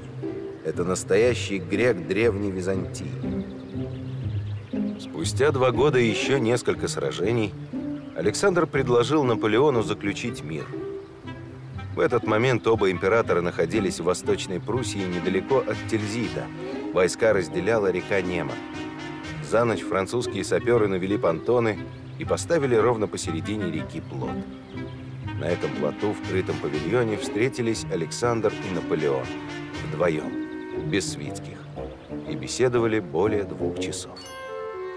В Тильзите был подписан мирный договор, по условиям которого Россия присоединялась к континентальной блокаде Англии. Из-за этого русский экспорт сократился на 20%, что тут же сказалось на экономике. Французский экспорт снизился на те же 20%. Зато Россия получила несколько лет передышки, чтобы подготовиться к большой войне. В том, что война будет, Александр уже не сомневался. После Тильзитского мира Александр увеличил расходы на армию почти в два раза – с 63 миллионов 400 тысяч рублей до 118,5 миллионов в год. В ночь на 12 июня 1812 года переправу через реку Неман начали 450 тысяч солдат Наполеона. У Александра было не более 200 тысяч солдат. В первый же день войны Александр прибыл в Москву, чтобы из древней столицы обратиться к своему народу. Был потрясен до глубины души, когда во время молебна на Поклонной горе простой крестьянин вдруг крикнул ему, императору, «Веди нас, отец родимый!» Все умрем, но победим. На следующий день вышел рескрипт его императорского величества Александра I, в котором говорилось «Я не положу оружие, доколе ни единого неприятельского воина не останется в царстве моем». Горячие головы вроде Багратиона хотели решающего сражения. Но Александр прекрасно понимал, чем это чревато и утвердил предложенную Барклаем де Толли тактику затяжного отступления. Наполеону ничего не оставалось, как двигаться вперед, на каждом биваке надеясь получить мирные предложения, на каждом переходе стараясь догнать и разбить основные силы русских. В столице готовились к бегству, опасаясь, что Наполеон внезапно повернет на Петербург. Александру снова стало сниться мертвое запудренное лицо отца – и он был уверен, что это его вина. Он отца-убийца, а нашествие – это наказание за его страшный грех. Однажды он решился рассказать о своих страхах старому приятелю, князю Голицыну. Голицын, желая что-то прочесть императору из Священного Писания, неловко уронил тяжелую книгу, и та раскрылась на 90-м псалме. «Прибежище мое и защита моя, Бог мой, на которого я уповаю». На Александра, который прежде никогда не проявлял интереса к религии, это произвело очень сильное впечатление. О своем состоянии он писал другу. «Я пожирал Библию, находя, что ее слова вливают новый, никогда не испытанный мир в мое сердце и удовлетворяют жажду моей души». Император удалился от решения военных проблем – назначив главнокомандующим 67-летнего князя Кутузова. И Кутузов, имея за плечами четыре войны и полтора десятка битв, решился, наконец, на генеральное сражение, которого ждали все. Наполеон, Александр, полмиллиона солдат и офицеров с обеих сторон. Для поднятия народного духа было объявлено о безоговорочной победе – и все выжившие участники Бородинского сражения награждены как победители. Тем неожиданнее и страшнее оказалась весть о том, что Кутузов решил оставить Москву. После получения его рапорта император молча удалился к себе в кабинет и всю ночь ходил из угла в угол. Когда он вышел утром, на него сразу набросился с упреками младший брат Константин, императрица-мать устроила истерику – и только жена заметила, что за эту ночь он почти наполовину посидел. 2 сентября Наполеон въехал в Кремль и разместился в парадных покоях императора Александра. В тот же день Москва загорелась, подожженная в нескольких местах. Через четыре дня Наполеон отправил Александру первое письмо с предложением о мире.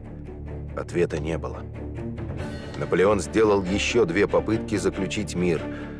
Александр молчал. Все уговоры и увещевания были тщетны. Своими мыслями и намерениями император делился только в письмах к любимой сестре Екатерине Павловне.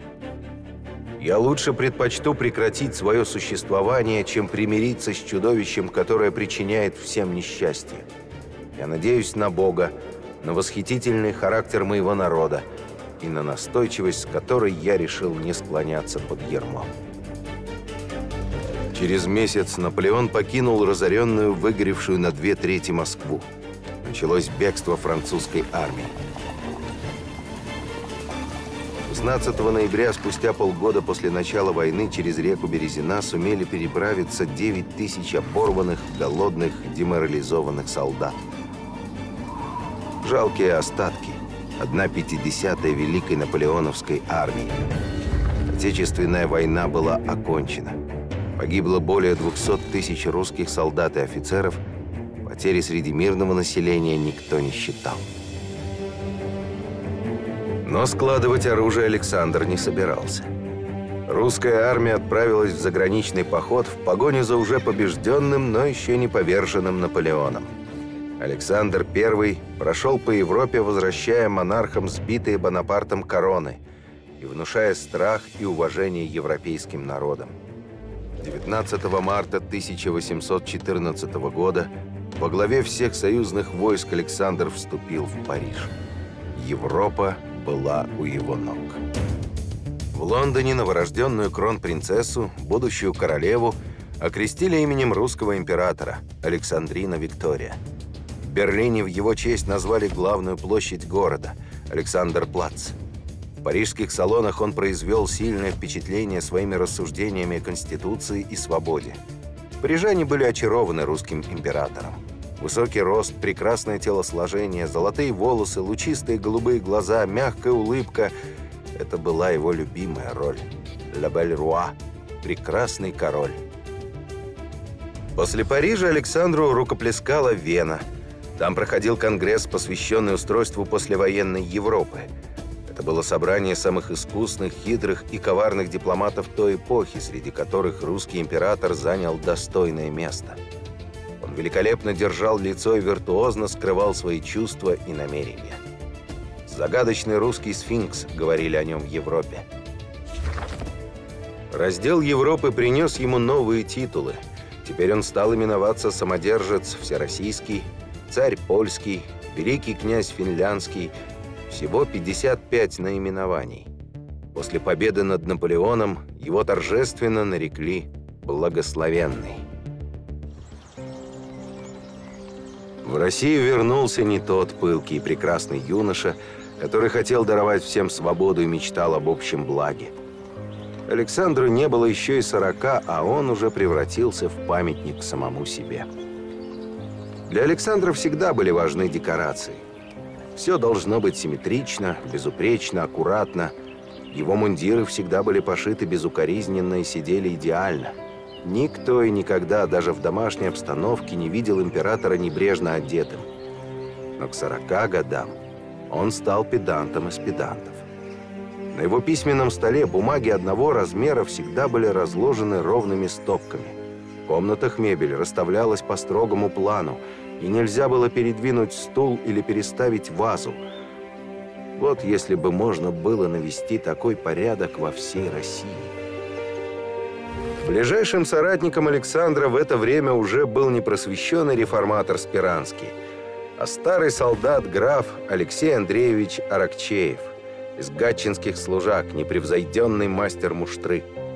Аракчееву не прощали расположение императора, его боялись и ненавидели – Называли солдафоном и гориллой, за глаза, конечно. О графе ходили самые невероятные слухи. Говорили, будто он в ярости порой вырывал у солдат усы. а одному якобы откусил ухо. Однако он был прекрасным военным специалистом, человеком исключительно честным и к тому же лично преданным императору. Поэтому Александр всецело доверял Аракчееву и именно ему поручил воплотить в жизнь идею, которую позаимствовал в Англии у социалиста-утописта Оуэна. Военные поселения, где солдаты живут с семьями и совмещают службу с занятием сельским хозяйством. Аракчеев старался отговорить Александра, даже на коленях просил отказаться от этой странной идеи, но получил приказ и исполнил его с точностью. Императору же поселения оказались благом. Солдаты не разлучаются с родными, армия сама себя обеспечивает продовольствием, всюду идеальный порядок. И он был весьма удивлен при известии о бунтах среди поселенцев. В военных поселениях вся жизнь регламентировалась вплоть до бытовых и семейных деталей. Все было одинаковым, от домов до кастрюль. Вставали, топили печи и работали в поле строго по команде. Дети с семилетнего возраста зачислялись в военнообязанные и подчинялись не родителям, а командирам.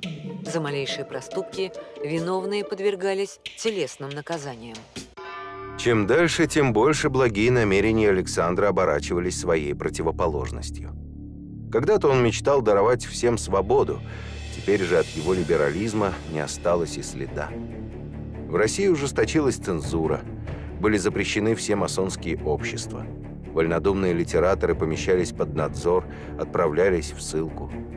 Однако, когда Александру докладывали о тайных обществах, даже показывали списки, сплошь знакомые имена – Трубецкой, братья Муравьевы, Волконский, Пестель, он не предпринимал ничего, говоря «Я не могу судить их слишком строго. Я сам когда-то разделял их убеждения» император все более отдалялся от управления страной. Из письма императора Александра французскому дипломату Агюсту де Шуазель-Гуфье. «Надо побывать на моем месте, чтобы составить себе понятие о том, что я испытываю при мысли, что когда-нибудь мне придется дать отчет перед Богом за жизнь каждого из моих солдат. Нет, престол не мое призвание. Если бы я мог с честью изменить условия моей жизни, я бы охотно это сделал. Признаться, иногда я готов биться головой о стену. Убийство отца, которое привело его на трон, гибель тысяч русских солдат, бесконечная гонка за славой, которая теперь не стоила ничего. В Библии он подчеркнул слова «Видел я все дела, которые делаются под солнцем». И вот все суета.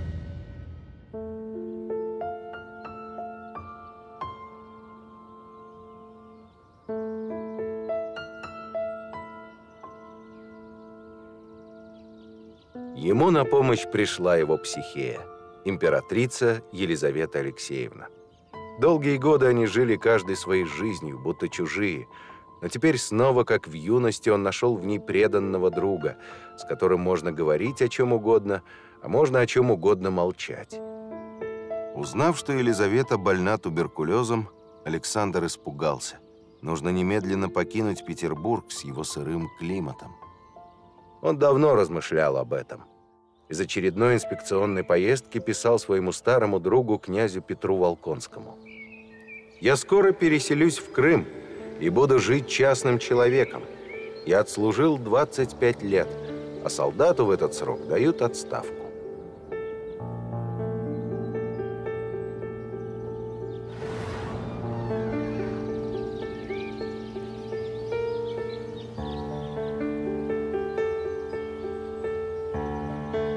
Но решено было ехать в глухой провинциальный Таганрог.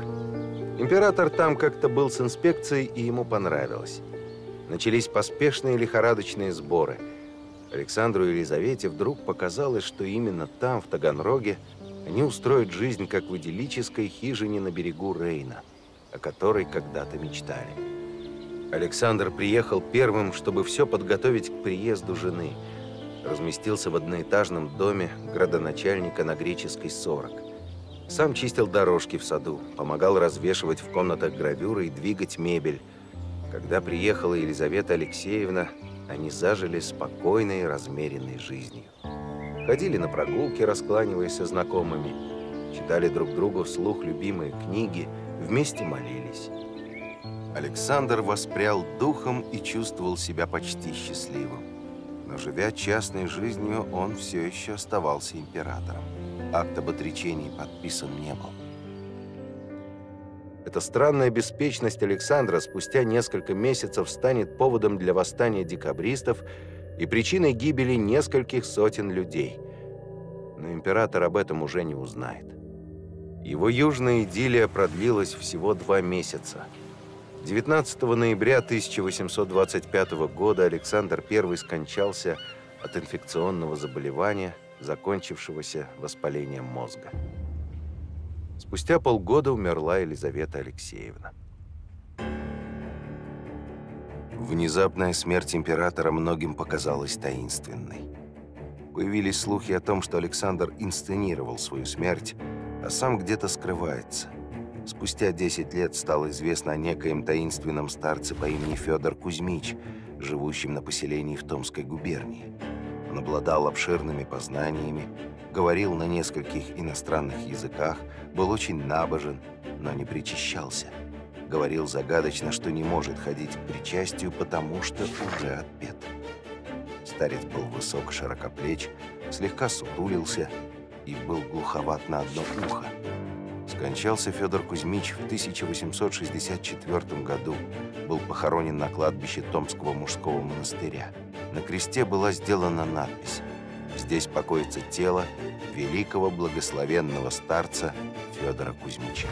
Идентичность Федора Кузьмича и Александра I Благословенного не доказана и не опровергнута до сих пор.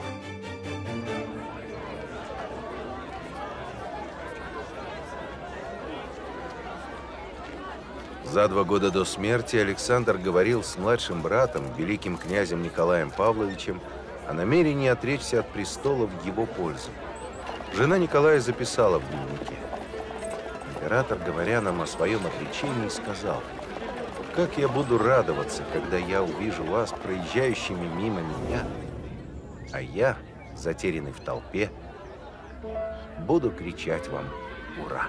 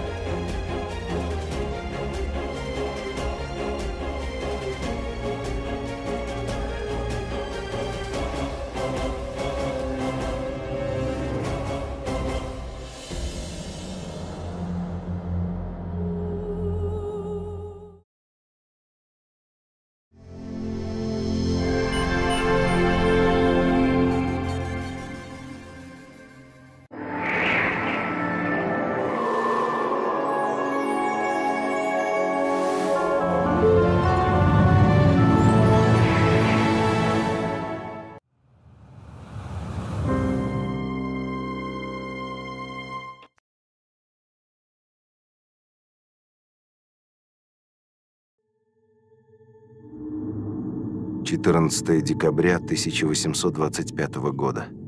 Восстание подавлено. Но старший сын императора, цесаревич Александр, еще дрожал от пережитого страха. Мальчик знал, что отец ушел исполнять свой долг, и что его за это могли убить. Государь велел вывести Александра во двор – где уже выстроился лейб-гвардии саперный батальон, часом ранее не позволивший бунтовщикам захватить дворец и его семью. Император поднял сына на руки и обратился к гвардейцам. «Я не нуждаюсь в защите, но его вверяю вашей охране» и передал им Александра. Бывалые солдаты со слезами на глазах кричали «Ура!», Юный наследник плыл на руках своей преданной охраны, и никто не думал, что однажды ему, будущему императору Александру II, придется исполнить свой долг, за который смогут убить.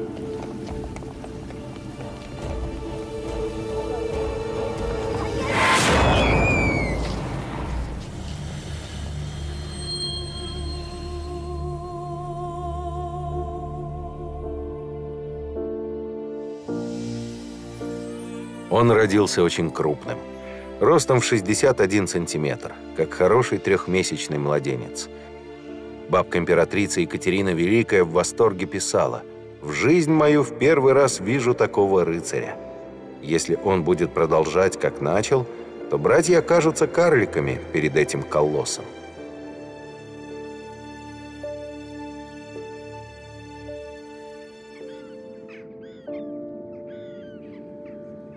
Когда Николаю было пять лет, его отец Павел I погиб от рук заговорщиков. Мальчик хорошо запомнил канун цареубийства. Его трехлетний брат Михаил примостился играть в стороне от других детей. Он выстраивал из крошечных повозок целый кортеж и вез оловянного солдатика-гренадера к катке с пальмой, где закапывал. На вопрос нянек, что он делает, ребенок отвечал «Хороню отца». После смерти Павла императором стал брат Николая Александр Павлович, который был старше на 19 лет, а наследником престола второй брат Константин Павлович. В тот момент вступление на престол самого Николая не предполагалось. Он рос на попечении матери Марии Федоровны в строгих спартанских условиях и только в 17 лет получил разрешение вместе с младшим братом Михаилом отправиться в путешествие. Спустя много лет Николай вспоминал. Мы начали жить и точно перешагнули одним разом из ребячества в свет, в жизнь. В Берлине увидел я в первый раз ту, которая возбудила во мне желание принадлежать ей на всю жизнь. 16-летняя принцесса Фредерика Луиза Шарлотта Вильгельмина, дочь прусского короля, была прекрасной партией для великого князя. Через два года они поженились – в православии Шарлотта стала Александрой Федоровной. Вскоре великий князь Николай Павлович был назначен главным инспектором корпуса инженеров и шефом лейб-гвардии саперного батальона. Имея феноменальную память, знал всех саперов в лицо. Впоследствии он часто будет повторять «Я всего лишь старый гвардейский сапер». Каждый день ранний подъем, молитва, зарядка – Зарядкой служило делание с ружьем, исполнение довольно сложных ружейных приемов. Затем разработка инструкций, инспекции, смотры. То, что другие называли скучным, Николай страстно любил. А между тем его старший брат, император Александр I, уже несколько раз намекал Николаю, что хотел бы передать престол именно ему – Средний брат, цесаревич Константин, становиться императором категорически не хотел. В 1823 году Александр I подписал манифест, объявлявший наследником престола Николая. Но об этом знали только четыре человека, и самого Николая в их числе не было. 19 ноября 1825 года в Таганроге император Александр I скоропостижно скончался – Через 8 дней об этом узнали в Петербурге. На заседании Госсовета был оглашен манифест о наследнике престола. Но Николай уже успел присягнуть Константину и привести к присяге войска. Константин престол не принял. Через две недели прислал из Варшавы официальное отречение. Уникальный случай в мировой истории. Вместо того, чтобы оспаривать престол, Братья Романовы настойчиво уступали его друг другу. Позднее граф Ланжерон отвесит им по-французски тонкий комплимент. «Члены вашей династии так благородны, что не поднимаются, а спускаются на престол». Однако в результате сложилась опаснейшая ситуация между царствия. Ею воспользовались заговорщики, которых потом назовут декабристами. Декабристы – участники тайных обществ – выступающие против самодержавия и крепостного права. В большинстве своем офицеры гвардии, все дворяне, многие весьма богатые и титулованные. Члены Северного общества во главе с Никитой Муравьевым выступали за конституционную монархию. Участники Южного общества во главе с Павлом Пестелем намеревались установить республику. Планировался военный переворот. Планы наиболее радикальных заговорщиков Рылеева и Пестеля включали также убийство всей царской фамилии, в том числе великих княжон, выданных замуж за границу и рожденных ими там детей, чтобы на российский престол уже никто не мог претендовать. На 14 декабря правительство назначило переприсягу новому императору. Накануне страшного дня Николай вечером посетил Михайловский замок, где погиб его отец.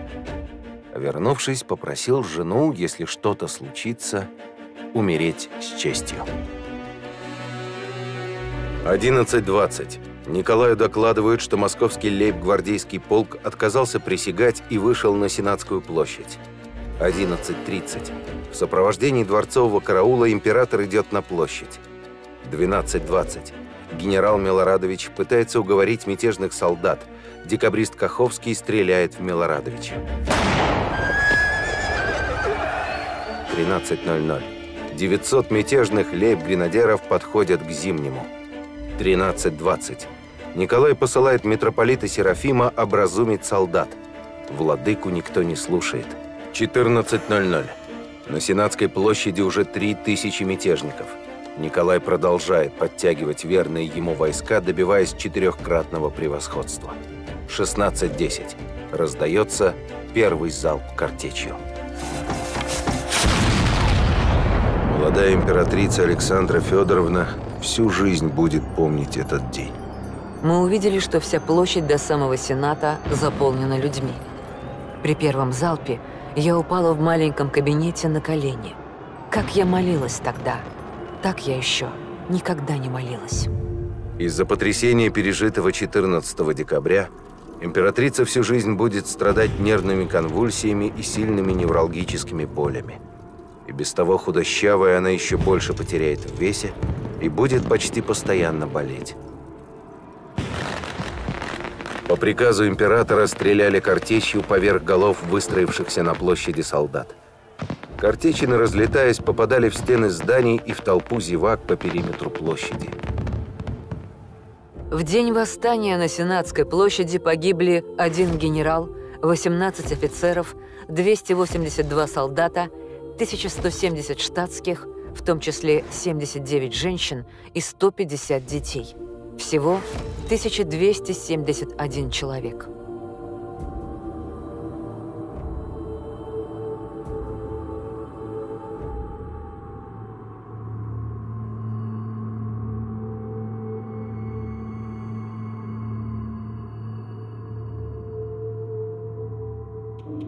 К следствию были привлечены 679 человек.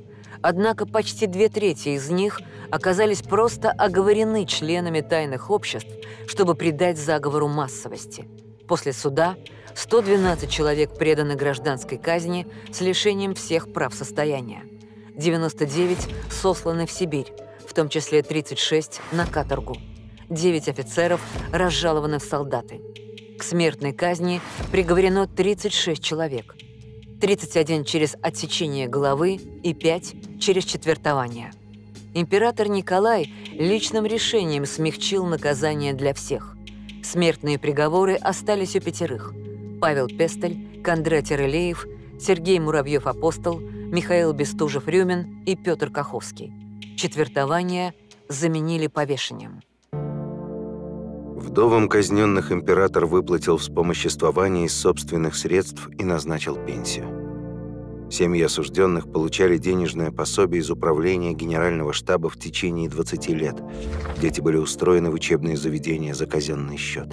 Проекты декабристов Николай распорядился передать в специально учрежденный комитет.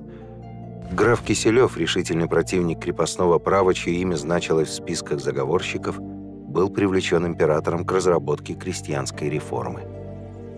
Принимая делегацию смоленских дворян, государь прямо сказал им, «Я не понимаю, каким образом человек сделался вещью, и не могу себе объяснить этого иначе, как хитростью и обманом с одной стороны и невежеством с другой».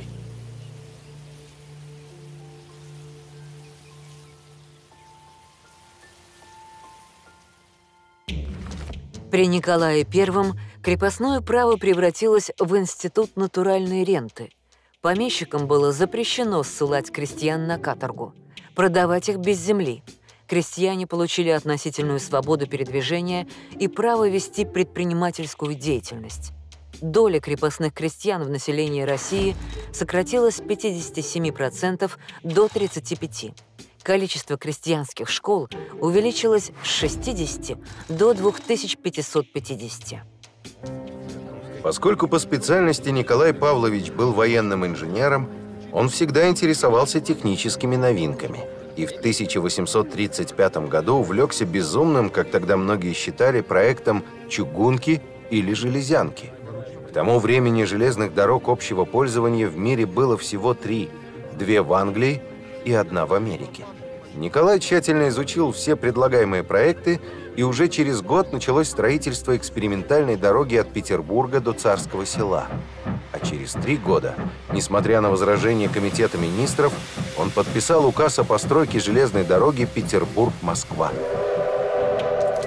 Николаевская железная дорога на тот момент была самой длинной в мире – 649 километров и 700 метров – Строительство обошлось в 67 миллионов рублей, треть ежегодного бюджета империи. Все 34 станции и оба вокзала построены одним архитектором – Константином Тоном. Это самое большое архитектурное сооружение в мире. Ширина колеи – 1524 мм, больше европейской на 89 мм. Колея дороги была расширена по личному распоряжению императора – он позаботился, чтобы по железной дороге не смог проехать неприятель. Спустя ровно сто лет, 1941 году эти 89 мм сильно затруднят снабжение немецких войск. Группа армий «Центр» получит только треть боеприпасов, необходимых для взятия Москвы. Всего за Николаевскую эпоху было проложено около тысячи верст железнодорожного полотна, что дало стимул к развитию отечественного машиностроения. Объем промышленной продукции за три десятилетия вырос в 30 раз. Были построены первые в России шоссейные дороги с твердым покрытием. Трассы Москва-Петербург, Москва-Иркутск, Москва-Варшава.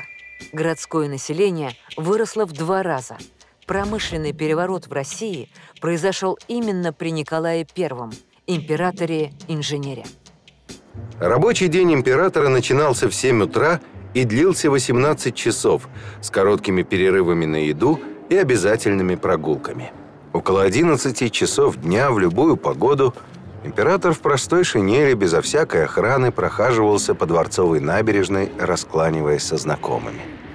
Вечером после восьми часов он мог позволить себе отдых.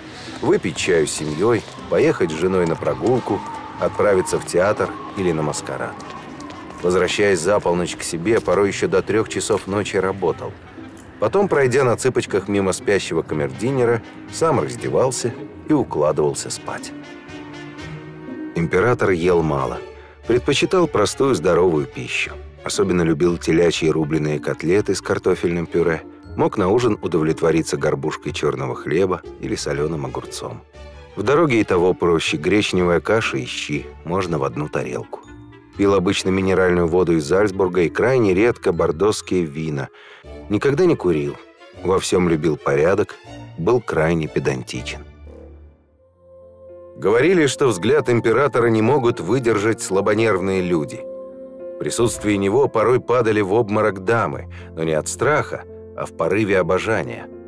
Николай Павлович слыл одним из красивейших мужчин Европы. Рост 189 сантиметров, широкие плечи, атлетическое телосложение. Ходили слухи, что он подкладывает под мундир вату для внушительности, но его личные врачи свидетельствовали, что это не так, просто император обладал необыкновенно широкой грудной клеткой. По моде того времени он туго перетягивал талию. Он не мог позволить себе расслабиться ни на минуту. Император должен быть безупречен во всем. Не случайно именно он станет эталоном для всех следующих Романовых. Статичность и стабильность Николай считал абсолютным благом для государства. Тогдашние газетные карикатуристы изображали Францию как бутылку шампанского, из которой вышибла пробку, а Россию как штоф водки, в котором нет ни пузырька – но в конце сороковых, когда всю Европу сотрясали революционные волнения, избежать беспорядков удалось только Англии, Нидерландам и России. Тридцатилетнее царствование Николая I оказалось самым стабильным временем в истории императорской России. Систему управления огромной империей Николай Павлович замкнул на себе. Ни один маломальский серьезный документ не обходился без его резолюции. Главным учреждением в государстве стало собственное его императорского величества канцелярия. Первое отделение его императорского величества канцелярии отвечало за подготовку высочайших указов и контроль за их исполнением. Второе отделение занималось подготовкой единого свода законов Российской империи. Третье отделение – политический сыск, цензура, розыск фальшивомонетчиков и расследование жалоб крестьян на помещиков – Четвертое, или ведомство императрицы Марии Федоровны, дела благотворительности, в том числе приюты, больницы и женское образование. Пятое отделение – подготовка крестьянской реформы. Знаменитое третье отделение, собственно, его императорского величества канцелярии, являлось высшей полицией, его главная задача состояла в надзоре за исполнением законодательства, причем в первую очередь государственными органами. Личный состав насчитывал всего 36 сотрудников. Возглавлял третье отделение герой войны 12 -го года и личный друг императора граф Александр Бенкендорф. Он же руководил корпусом жандармов, от французского «жандарм» – вооруженные люди, которые исполняли роль внутренних войск общей численностью 4000 человек. Престиж и авторитет корпуса был очень высок. Не случайно в финале гоголевского «Ревизора» в знаменитой немой сцене появляется именно жандарм. Только благодаря заступничеству императора пьесу удалось поставить. Императору, который вошел в историю как реакционер, в голову не пришло запретить сатирическую пьесу. А первое, что он сделал после коронации, вернул из ссылки опального поэта Пушкина. Они были почти ровесники.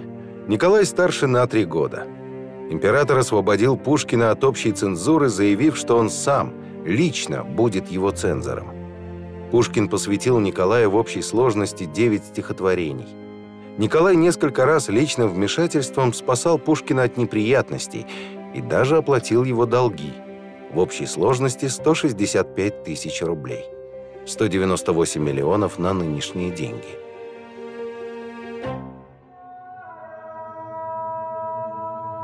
А в это время корнет лейб-гвардии гусарского полка Михаил Лермонтов за серьезные дисциплинарные нарушения был переведен в действующую армию на нескончаемую Кавказскую войну. Кавказская война – завоевание русской императорской армии территорий Северного Кавказа. Началась в 1817 году при Александре I – Пика достигла в 30-е годы при Николае, когда горцы Чечни и Дагестана во главе с имамом Шамилем объявили русским газоват – священную войну. Окончится пленением Шамиля и покорением Северного Кавказа только в 60-е годы при Александре II. А тем временем в Европе сложилась целая коалиция против России – Европейские державы давно были озабочены внешнеполитической и военной активностью Николая I.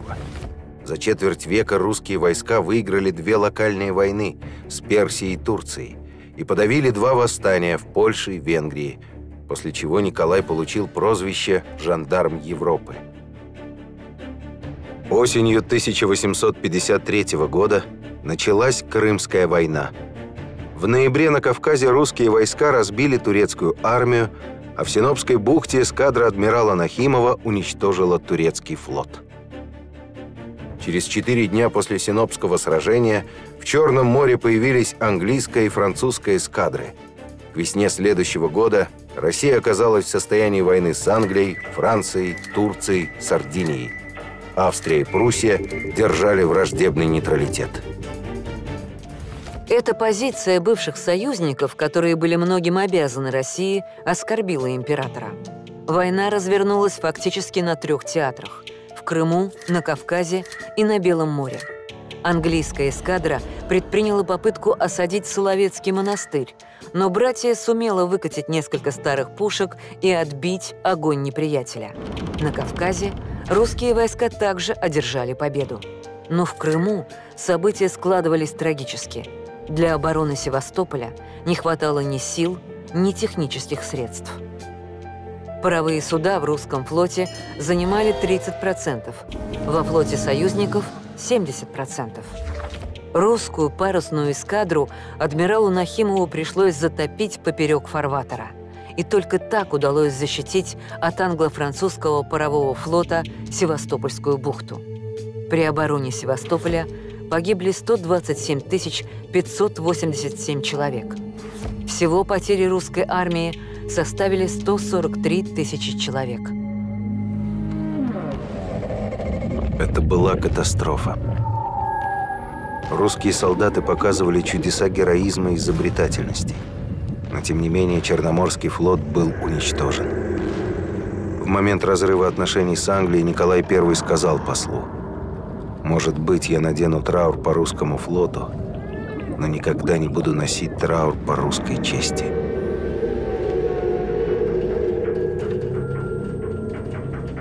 Николай был раздавлен. Он лишился сна. Врачи предупреждали, что резервы его организма на исходе, но император никого не слушал. В личной беседе Николай как-то сказал, «Если бы я мог выбирать, я бы никогда не выбрал бы своего нынешнего положения. Но я часовой, получивший приказ, и стараюсь выполнять его как могу».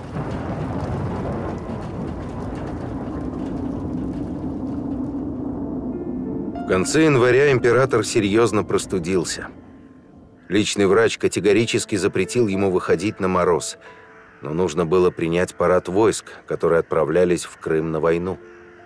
Император сказал врачу, «Ты исполнил свой долг, позволь же мне исполнить мой». И в легком конногвардейском мундире вышел к войскам на ледяной ветер. Вскоре у него обнаружились признаки пневмонии. 17 февраля начался паралич легких – Император был в полном сознании и понимал, что через несколько часов умрет от удушья. Он успел помолиться и проститься с близкими. Узнав, что прибыл курьер из Крыма со спешным донесением, Николай I показал на сына.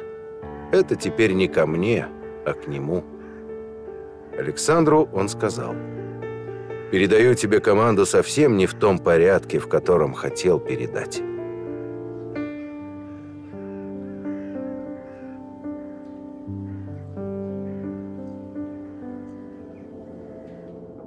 18 февраля в 12 часов 30 минут над Зимним дворцом подняли траурный флаг.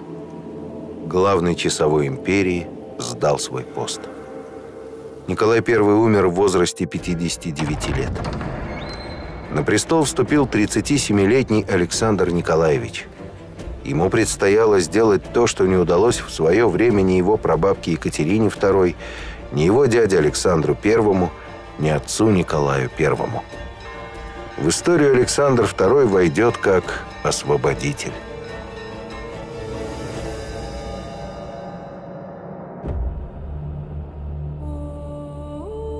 Его отец говорил, «Хочу воспитать в сыне человека, прежде чем сделать из него государя».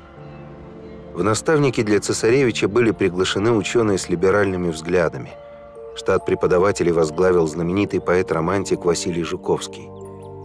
Когда Александру было 13, отец зашел к нему как раз посреди урока о восстании декабристов. «А ты как поступил бы на моем месте?» – спросил Николай. «Простил», – ответил Александр.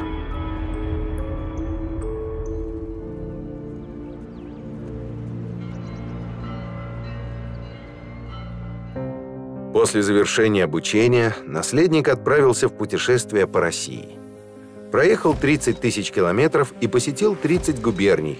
Первым из Романовых пересек границу Европы и Азии и побывал в Сибири. В Тобольске цесаревич встретился с декабристами и постарался как мог облегчить их участь. В Вятке познакомился с сосланным туда Александром Герценом. Молодые люди быстро нашли общий язык, и впоследствии Александр сделает все возможное, чтобы Герцена освободили от полицейского надзора. Позже Герцен будет писать оды царю-реформатору. Александр II сделал много, очень много. Его имя теперь уже стоит выше всех его предшественников. Он боролся во имя человеческих прав. Этого ему ни народ русский, ни всемирная история не забудут. А еще через несколько лет Герцен из Лондона развернет свою революционную агитацию, станет призывать Русь к топору, многое сделает для создания антиправительственного общественного мнения и в какой-то мере станет косвенным виновником гибели императора. Еще будучи цесаревичем, Александр часто действовал по велению сердца, а не рассудка, к неудовольствию своего сурового отца. В Александре все больше проявлялись не царские черты – легкомыслие, мягкость и чувствительность. Наследник российского престола более всего походил на прекрасного принца из сказки и все время норовил найти себе Золушку, влюбляясь в молоденьких фрейлин. В 1838 году родители отправили Александра в Европу на поиски невесты среди европейских принцесс. В Дармштадте наследнику понравилась 16-летняя принцесса Максимилиана Вильгельмина Августа София Мария Гессенская, хрупкий большеглазый ангел – а в Лондоне Александр был представлен ее величеству королеве. Виктории было 20 лет, и она как раз присматривала себе жениха среди европейских принцев. Королева Виктория записала в своем дневнике. «Я нашла великого князя чрезвычайно привлекательным. У него красивые синие глаза. Он всего на год старше меня. Мы танцевали на балу до трех с четвертью ночи. Он такой неимоверно сильный и так скоро кружится. Мы кружились вихрем. Я никогда не была так счастлива. Влюбленный Александр уже собирался отказаться от российского престола, чтобы стать британским принцем-консортом. Но свита о таком даже и помыслить не могла. В отношении венценосных Ромео и Джульетты вмешались и напомнили пылкому цесаревичу о его долге перед Россией и о маленькой гессенской принцессе. Этот союз был всеми одобрен, и они обвенчались. Православие Максимилиана Вильгельмина Августа София Мария приняла имя Марии Александровны.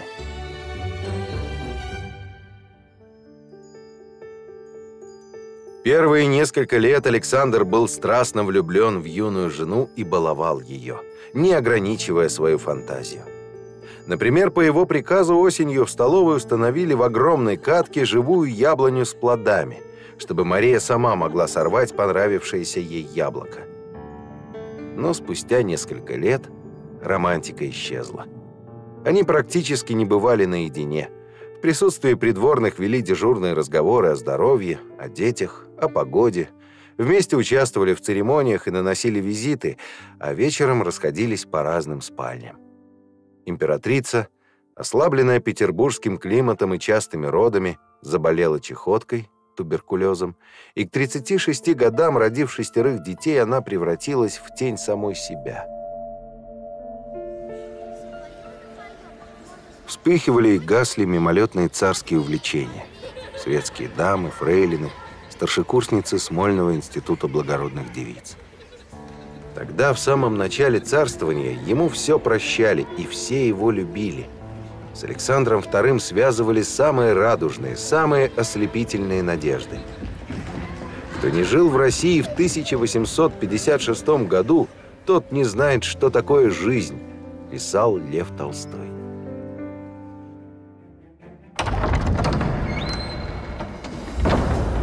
На престол вступил зрелый 37-летний хорошо подготовленный правитель, который уже много лет участвовал в работе государственных комитетов. Ему удалось разрушить внешнеполитическую блокаду России. Был подписан Парижский мирный трактат, по которому российские потери в Крымской войне оказались не так велики.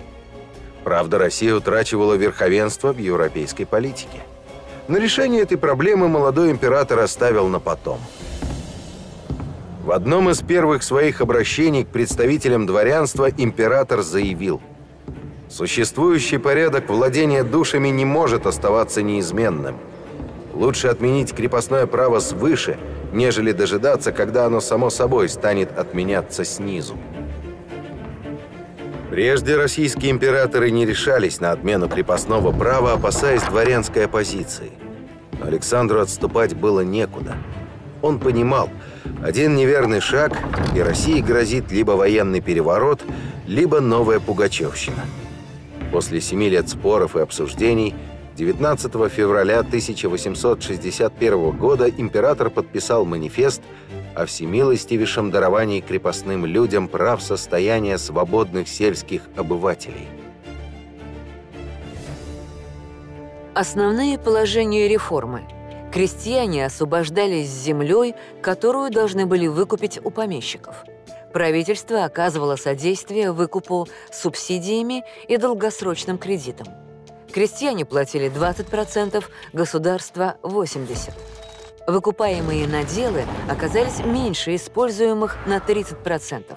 Сумма выкупа намного больше их реальной стоимости. Крестьяне стали должниками казны на много десятилетий вперед. Земля распределилась так. У 99 миллионов 800 тысяч крестьян, 71% населения, 33 миллиона 700 тысяч десятин – у 1 миллиона 700 тысяч дворян, 1,5% населения, 71,5 миллион десятин. Вслед за отменой крепостного права началась цепная реакция реформ. Необходима была новая система для управления новой страной. Земская и городская реформы создали выборные органы местного самоуправления, земства и городские думы, которые сами решали хозяйственные и бюджетные вопросы – Реформа образования сделала доступным среднее и высшее образование. Увеличена сеть народных школ, созданы училища для разночинцев, учреждены первые общеобразовательные курсы для женщин. Университеты получили особый статус и относительную автономию. Судебная реформа установила равенство всех сословий перед законом. Состязательный процесс с участием адвокатов, институт присяжных поверенных, гласность и публичность судебных заседаний. Военная реформа – Отменены телесные наказания в армии. Проведено полное перевооружение нарезными винтовками и пушками. Вместо рекрутского набора введена всесословная воинская повинность.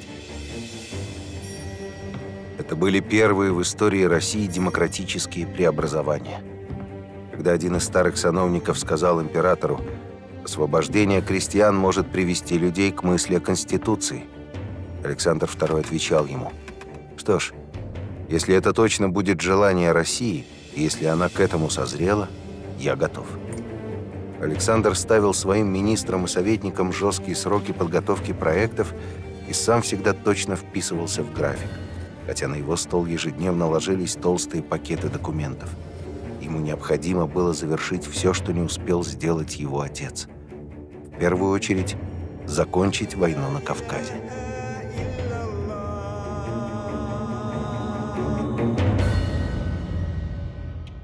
Затяжная Кавказская война закончилась в 1864 году покорением Чечни, Дагестана, Черкесии и Абхазии. Завоевание Бухарского Эмирата и Хивинского ханства включило в состав России весь Туркестан вплоть до Кушки, которая останется самой южной точкой империи еще более ста лет до распада СССР. Единственной территориальной потерей в этот период стала Аляска. Полтора миллиона квадратных километров, негодной для земледелия и практически необжитой земли, были проданы Соединенным Штатам Америки за 7 миллионов 200 тысяч долларов золотом, в нынешнем эквиваленте 108 миллионов долларов.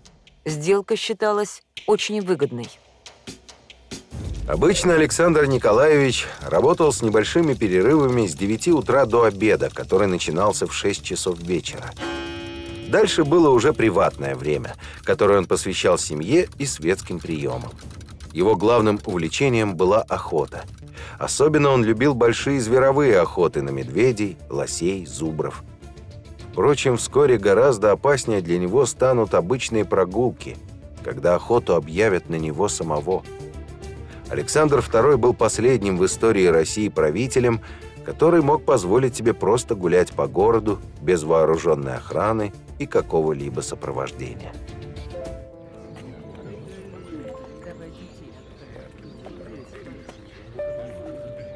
Едва ли не каждый день в летнем саду петербуржцы старательно делали вид, что не узнают господина, портреты которого висели во всех присутственных местах, и шептались – государь прогуливает свою демуазель. Александру было 48, и он давно потерял счет своим романам. Воспитанница Смольного института, 19-летняя княжна Екатерина Долгорукова, сначала ему просто понравилась. Но уже после нескольких совершенно невинных свиданий император влюбился не на шутку. Много лет спустя Екатерина вспоминала. Он обращался со мной, как со священным предметом. Это так благородно и прекрасно.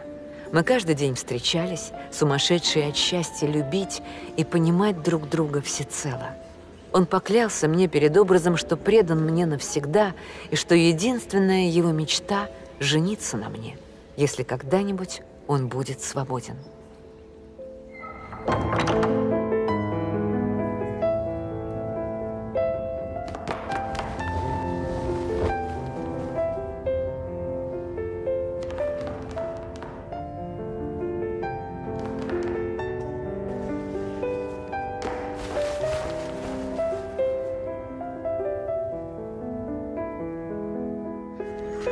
Четвертого апреля 1866 года после очередного свидания государь в превосходном настроении шел от ворот летнего сада, поджидавший его карете. Он не сразу понял, что треск, отдавшийся гулким эхом над липами, это звук выстрела.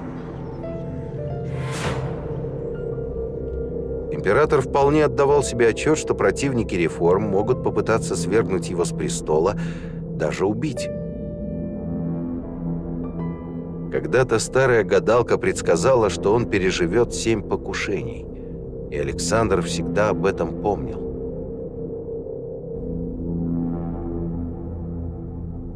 Первое покушение совершил 26-летний террорист-одиночка Дмитрий Каракозов из обедневших дворян, бывший студент.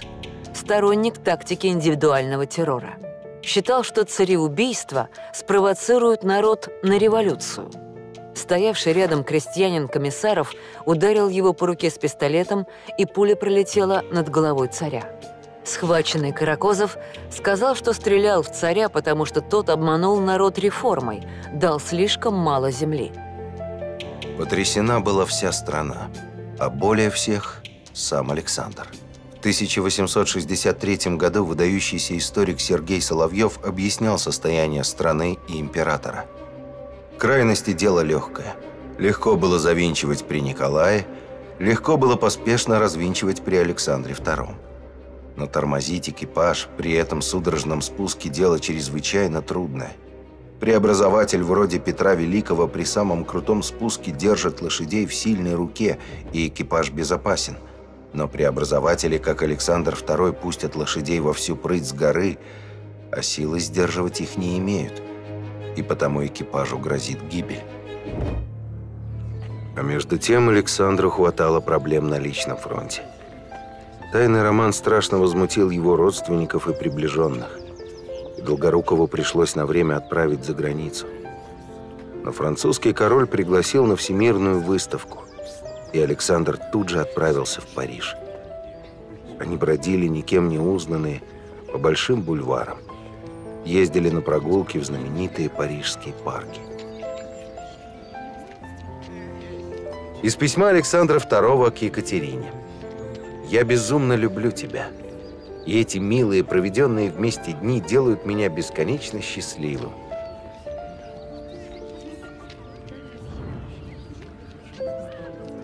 Влюбленные не знали, что за ними везде следовали сотрудники французской тайной полиции но никакие меры по охране не помогли. Второе покушение совершил польский националист Антон Березовский. Он выстрелил в Александра, когда тот вместе с императором Наполеоном III возвращался с военного смотра в открытом экипаже. Пуля попала в лошадь. Александр начал уже привыкать к постоянной опасности. Когда началась очередная война с Турцией, государь отправился на фронт и, несмотря на все усилия охраны, постоянно оказывался под огнем.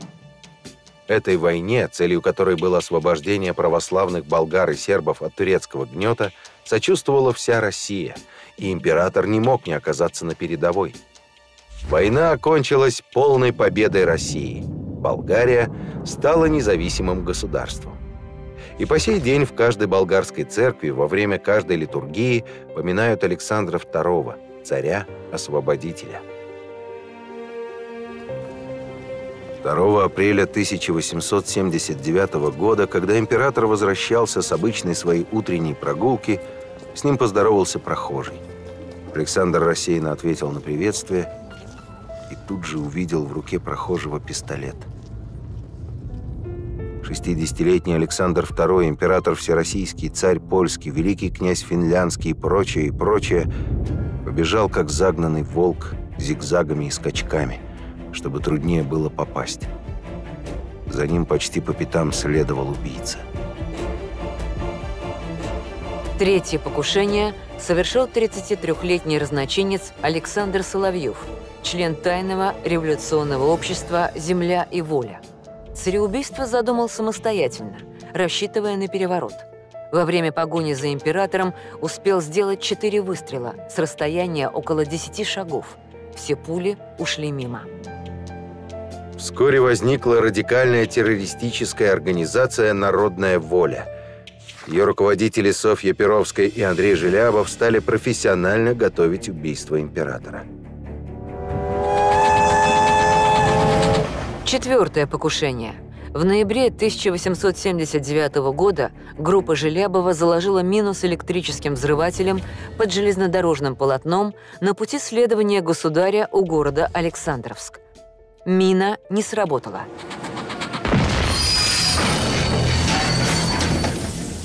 Пятое покушение.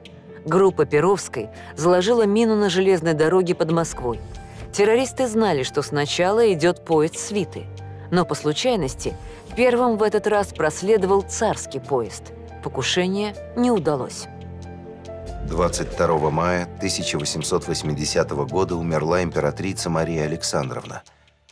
А уже 6 июля, едва выждав 40 дней, Александр Николаевич обвенчался с Екатериной Долгоруковой, которой был дарован титул княгини Юрьевской. Венчание прошло в небольшой комнате царско-сельского дворца – у скромного алтаря походной церкви в обстановке строгой секретности, потому что брак Александра II не желал принять никто при дворе. Александр Николаевич торопился. Ему надо было успеть обеспечить будущее жены и детей. Усиление охраны не помогало. Смерть постоянно была где-то рядом. Шестое покушение – Народоволец Степан Халтурин устроился плотником в Зимний дворец и за полгода понемногу пронес в подвал под царской столовой 30 килограммов динамита. При взрыве 5 февраля 1880 года погибло 11 человек, ранено 56, все солдаты караульной службы. Императора в столовой не оказалось, он встречал опоздавшего гостя. Через несколько дней император написал сыну. «Дорогой Саша, в случае моей гибели поручаю тебе мою жену и детей». С недавнего времени Александр Николаевич стал находить на подоконнике своей спальни растерзанных голубей. Выяснилось, что на крыше дворца поселился коршун – когда его поймали, он оказался таких исполинских размеров, что был помещен в кунсткамеру. Издерганный, больной, загнанный император мечтал теперь только об одном – отречься от престола в пользу взрослого сына и уехать с женой и детьми в Ниццу. Но оставалось еще одно важное дело. По его поручению был разработан проект об учреждении в России выборного собрания – первый шаг к парламенту и конституции. Александр Николаевич уже утвердил его, и на 4 марта 1881 года было назначено обсуждение проекта на Совете Министров, вслед за которым он вступит в силу. На 1 марта у государя было намечено присутствие в Михайловском манеже на разводе караулов. На обратном пути он заехал в Михайловский дворец к двоюродной сестре великой княгине Екатерине Михайловне, выпить чаю, поделиться планами отъезда в Ниццу. В 2 часа 10 минут пополудни император вышел от нее и сел в карету. В 3 часа ему нужно быть уже в Зимнем. Он обещал жене повести ее на прогулку. Проехав инженерную улицу, царская карета повернула на набережную Екатерининского канала. Рядом следовали шесть казаков конвоя. Вслед ехали на двух санях офицеры охраны во главе с полицмейстером Дворжицким. По набережной шел мальчик с хлебной корзиной. Немного поодаль артиллерийский офицер. На повороте Александр Николаевич успел заметить молодую женщину, которая махала кому-то белым платком – когда перед каретой внезапно возник человек со свертком в руках, император уже понял – будет взрыв. Седьмое покушение совершил 20-летний народоволец Николай Рысаков, один из двух бомбистов, дежуривших на Екатерининской набережной. Сигнал к действию подала Софья Перовская. Рысаков бросил в царскую карету самодельную бомбу и попытался убежать, но поскользнулся и был схвачен – Взрывом убиты два казака-конвоя и мальчик-прохожий. Ранены три лошади. Повреждены передние колеса и козла кареты. Император не пострадал.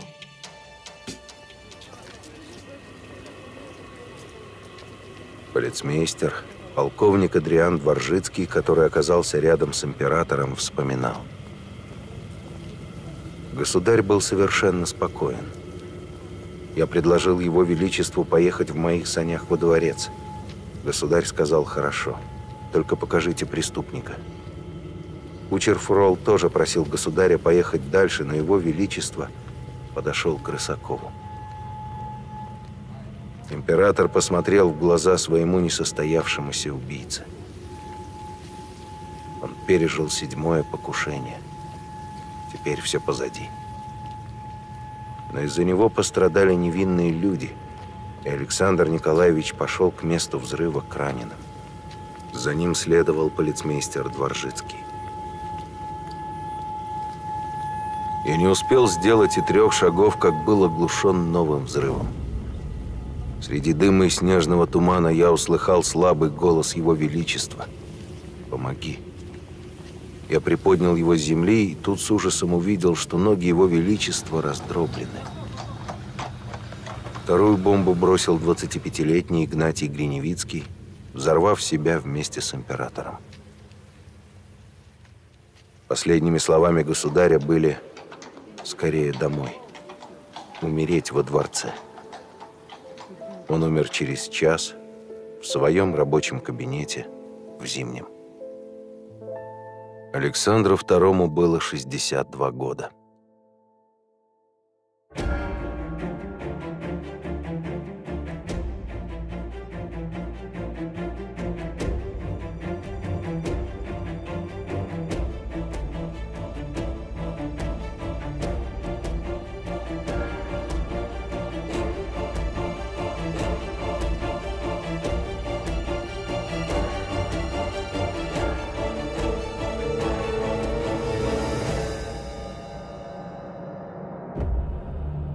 Великий князь Александр Михайлович, племянник императора, писал. Тысячи толпились около Зимнего дворца. Никто не спрашивал ничего. Широкие пятна темной крови указывали путь по мраморным ступеням лестницы и по коридору, ведущему в кабинет императора. Мы понимали, что идиллическая Россия с царем-батюшкой и его верноподданным народом перестала существовать. Будущее не только Российской империи, но и всего мира – зависело теперь от исхода неминуемой борьбы между новым русским царем и стихиями отрицания и разрушения. Александр II дал своей стране то, что она ждала несколько веков. Но казалось, что он освободил не только крестьян. На свободу вырвалась новая, прежде неизвестная сила – революция.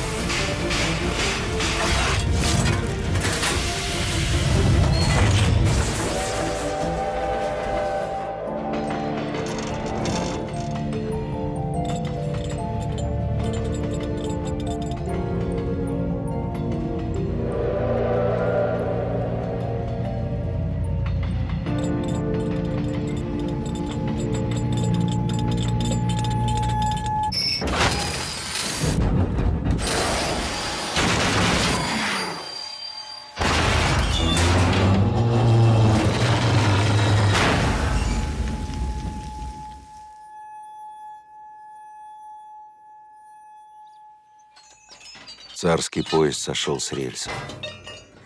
Камерлакеи, стоявшие в дверях, погибли сразу. Кричали дети, и непонятно было, кто жив.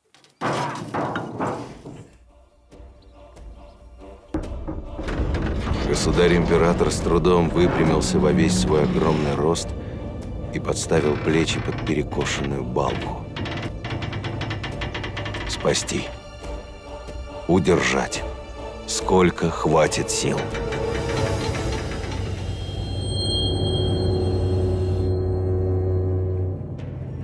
Конца XIX века остается 20 лет. Российская империя уже занимает одну шестую часть суши и является самым большим государством мира. После либеральных реформ Александра II Освободителя, вопреки всем ожиданиям и надеждам, страна находится в состоянии экономического кризиса. За время правления Александра II выплавка чугуна увеличилась лишь на 67%, тогда как в Германии за то же время на 319%. Внешний долг России вырос с 2 до 6 миллиардов рублей. Коррупция приобрела невиданные прежде масштабы.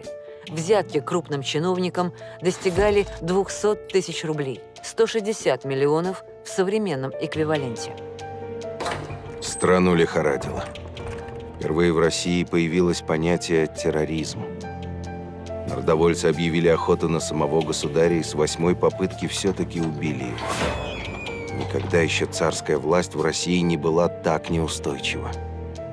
И весь этот груз предстояло принять на себя новому императору.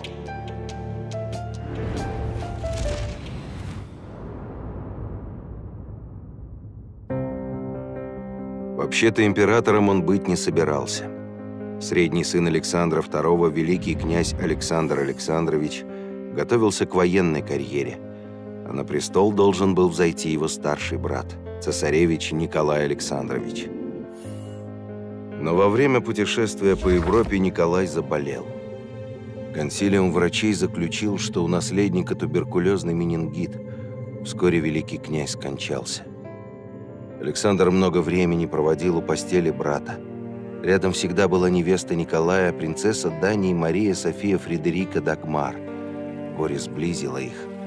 Так постепенно Александр влюбился в маленькую хрупкую Мини, как звали ее в семье. Но целых 10 дней стеснялся сделать предложение. И тогда Мини проявила инициативу.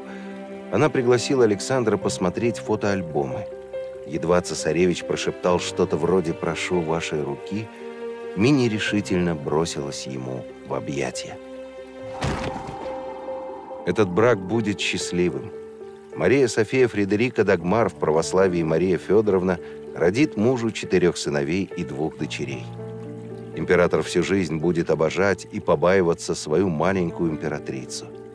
Они проживут в любви и согласии 28 лет – и разлучит их только смерть Александра. Во время революции Мария Федоровна сумеет уехать в Данию и доживет до глубокой старости, так и не поверив в смерть сыновей, расстрелянных большевиками. А когда в 1881 году император Александр III взошел на престол, ему было 36 лет, и он отлично знал, что следует делать. Он был уверен, что именно либеральные реформы, которые проводил его отец, ослабили экономику и расшатали общество. Теперь необходимо все вернуть на круги своя. В деревне были отменены мировой суд и крестьянское самоуправление.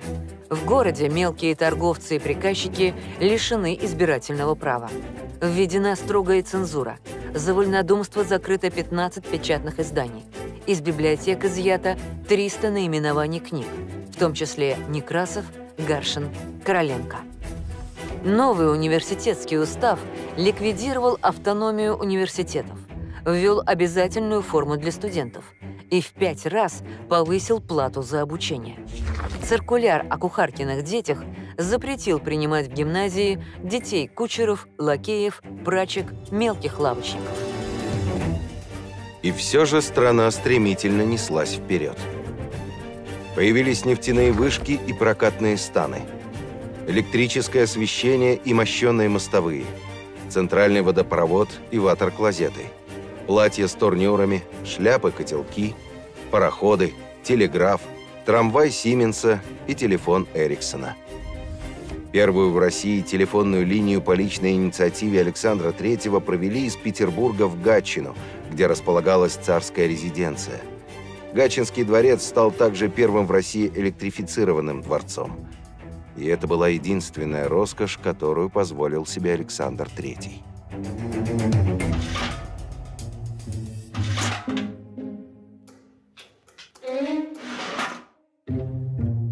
Остальном он придерживался режима строгой экономии. Уменьшил свиту вдвое, балы и прочие развлечения при дворе стали редки, расходы на кухню и вина сократились. Остались, как прежде, только царские охоты. Александр был страстный охотник и отменный стрелок. Еще больше охоты он любил рыбалку. Императрица собственноручно жарила мужу пойманных судачков с картошкой, и они были абсолютно счастливы. Но отдых в кругу семьи император мог позволить себе нечасто. Обычно он очень много работал, делая короткие перерывы, чтобы выкурить сигару или прогуляться по саду. Однажды во время прогулки он подкрался к младшему сыну Михаилу и хорошенько облил его из садового шланга. Через несколько дней Михаил улучил момент, когда отец курил свою сигару, высунувшись в окно кабинета, поскольку курить в комнатах ему не позволяла жена, и вылил на него сверху целое ведро воды. Наказание не последовало.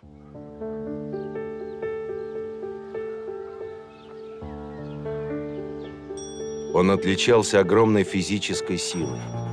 Завязывал в узел кочергу и сворачивал в трубочку пятаки. Очень высокого роста, 193 сантиметра. Император был к тому же довольно тучен, поэтому не любил ездить верхом, для него трудно было подобрать лошадь. В быту Александр был непритязателен. Вставал в 7 утра, сам варил себе кофе и пил его без сливок и сахара, заедая баранками. Гулял с любимой собакой Камчаткой, потом несколько часов принимал доклады министров. В час дня завтрак. Чай, яйца вкрутую и ржаной хлеб с маслом. Потом работал с бумагами в своем кабинете, с трех до пяти в любую погоду гулял по саду с императрицей и детьми. В восемь часов подавался обед. Государь любил хорошо поесть. Уху или раковый суп с растягаями, бараний бог с кашей, соленые огурцы, гурьевскую кашу со сливками и миндалем. А после обеда он продолжал работу, иногда до глубокой ночи. Нередко император отправлялся в инспекционные поездки. Сопровождавший царский поезд инженер-путеец Сергей Витте часто становился свидетелем ситуаций, которые казались немыслимы для императорского быта. Мне приходилось видеть, что когда все уже лягут спать, то камердинер Котов постоянно штопал штаны императора. Как-то раз, проходя мимо и видя, что он все штопает, говорю ему – Неужели вы не можете взять с собой несколько пар, чтобы в случае, если окажется в штанах дырка, дать государю новые? А он говорит, попробуйте-ка дать. Если он наденет какие-нибудь штаны или сюртук, то кончено. Пока весь по швам не разорвется, он ни за что не скинет. При Александре Третьем в моду вошел стиль а-ля рус. Платья, украшения, меню в ресторанах, интерьеры – Возник особый стиль в архитектуре, который потом назовут псевдорусским. Башенки, пузатые колонны, изразцовые узоры, новые терема на старый лад, например, верхние торговые ряды, ГУМ, и здание исторического музея в Москве. Александр поощрял живопись, особенно на исторические темы. Его любимыми художниками были Васнецов и Суриков – но именно в это время расцвета национальных традиций в России встает вопрос отношения к иноверцам, в том числе еврейский вопрос. Российские евреи еще со времен Екатерины II могли жить только в определенных районах, так называемой черте оседлости. Реформы Александра II значительно расширили права иноверцев, в первую очередь евреев – во второй половине XIX века еврейский капитал стал играть значительную роль в торговле, банковском деле, а также печати, журналистике, издательском бизнесе. И Александр III свернул отцовские реформы, изменив национальную политику. Из Москвы принудительно выселили за черту оседлости 20 тысяч человек. Установлена квота евреев в средних и высших учебных заведениях. 10% в черте оседлости, 5% вне черты, 3% в столицах. Такое положение подтолкнуло многих представителей еврейского молодого поколения в революционные партии. Александр III осознавал масштабы своей империи и что ей необходима мощная скрепляющая линия. Эта идея была воплощена буквально при строительстве Транссибирской магистрали, самой длинной железной дороги в мире. Общая длина Транссибирской магистрали 9298 километров 200 метров. При Александре III был построен самый сложный и протяженный участок – от Урала до Владивостока. 7 тысяч километров через горы, тайгу и сибирские реки. Темпы строительства были рекордными. Прокладывалось от 2500 до 5000 километров полотна в год. Бюджет строительства составил 1 миллиард рублей.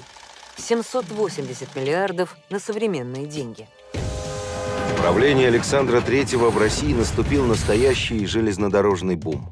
Путешествовать по железной дороге было престижно. Появились особые дорожные платья и шляпки. Вагоны первого класса отделывались роскошью светских салонов. 17 октября 1888 года император с семьей возвращался из Крыма в Петербург. Поезд шел с небольшим опозданием. И перед Харьковом решено было прибавить скорость. Состав удалось разогнать почти до 70 верст в час.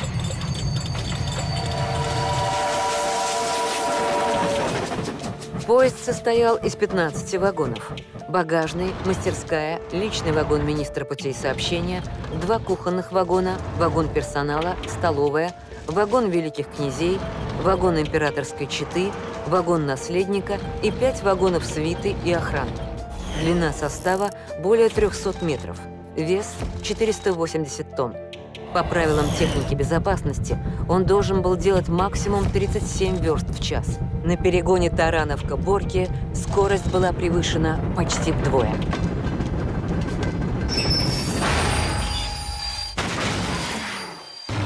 Два часа 14 минут поезд сошел с рельсов. Из 15 вагонов 10 были разрушены полностью. В вагоне столовой, где находилась царская семья, вынесла боковые стенки. В пролом выбросила шестилетнюю великую княжну Ольгу. Она бежала по насыпи и кричала, они нас всех убьют. Все равно всех убьют. Десятилетнего великого князя Михаила засыпало обломками, и его с трудом отыскали. Тринадцатилетней великой княжне Ксении обломками повредила спину, и она на всю жизнь осталась инвалидом. Погибли 20 человек, ранены 37. Император разбирал завалы, государыне помогала раненым. Только к вечеру удалось убедить их отбыть в Харьков. По дороге император вспомнил, что за месяц до катастрофы он стал случайным свидетелем разговора на железной дороге. Инженер-путеец Сергей Виты доказывал, что нельзя сильно разгонять тяжелый поезд – сам Сергей Витте позже вспоминал этот спор, который станет для него судьбоносным. Вступил со мной в разговор министр путей сообщения, который заявил, «А на других дорогах ездим же мы с такой скоростью, и никто никогда не осмелился требовать, чтобы государя везли с меньшей скоростью».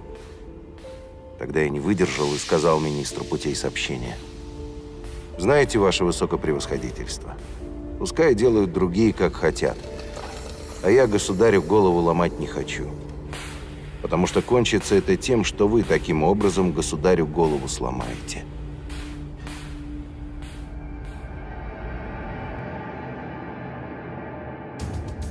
Александр III вызвал Сергея Виты в Петербург и уговорил возглавить департамент железных дорог при Министерстве финансов.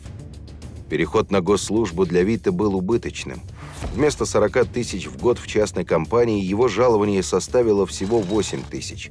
Поэтому император доплачивал ему компенсацию из своих личных средств – еще 8 тысяч. Через два года Вита был назначен министром путей сообщения и министром финансов. Во многом благодаря ему Россия стала делать первые шаги по выходу из финансового кризиса. За 10 лет добыча угля в стране увеличилась на 110%, нефти на 1468%, выплавка стали выросла на 159%, чугуна на 487%. Сельское хозяйство производило 15% мирового объема пшеницы и 55% мирового объема ржи. Бюджет России вырос почти в 9 раз. В Англии за это же время он увеличился в 2,5 раза, а во Франции в 2,6 раза. Более чем в два раза был увеличен российский золотой запас – к 1893 году доходы государства превысили расходы почти на 100 миллионов рублей. Русский рубль стал твердой международной валютой. Россия превратилась в одну из самых мощных мировых держав. Александр III провел модернизацию вооруженных сил. Армия получила на вооружение винтовку Мосина – знаменитую трехлинейку, которая прослужит на двух мировых войнах вплоть до середины 20 века. Была введена новая, более удобная форма, включая гимнастерку, которая существует и сейчас. Повышены требования к военному образованию. Флот получил 114 новых военных судов, том числе 17 броненосцев и 10 бронированных крейсеров. До этого почти не имевшая современного военного флота – Россия вышла на третье место в мире после Англии и Франции. Но войн в царствовании Александра III не велось. Наоборот, ему удалось не допустить уже назревавший в Европе военный конфликт между Англией и Германией, за что впоследствии он получил прозвание «миротворец». Он изменил обычную европейскую расстановку сил, отказавшись от союза с Германией и заключив договор с Францией. У этих изменений была экономическая подоплека. В свое время для подъема экономики Россия использовала кредиты, полученные в Англии и во Франции. И теперь была вынуждена заключить внешнеполитический союз со своими кредиторами, которые впоследствии втянут ее в военный конфликт – Первую мировую войну. Возможно, Александр III сумел бы предотвратить катастрофу, и не случилось бы ни войны, ни падения империи. Но после крушения поезда у него начались проблемы со здоровьем. Плохо работало сердце, болела поясница. Почти шесть лет он старался не придавать этому значения, пока не стало совсем плохо. В сентябре 1894 года консилиум русских и немецких врачей поставил диагноз – нефрит – острое воспаление почек. Императору предписали строгую диету, попросили его перебраться в Крым, в Ливадию. 19 октября фельдъегерь повез из Ливадии в столицу бумаги, подписанные Александром III в последний раз. Император причастился святых тайн, попрощался с женой и детьми. Смерть наступила в 14 часов 15 минут. Александру Третьему было всего 49 лет. Гроб с телом императора был перевезен из Крыма в столицу через Севастополь, Харьков, Орел и Москву. Везде собирались огромные толпы попрощаться с государем. Когда траурный поезд отходил от перрона, люди вставали на колени.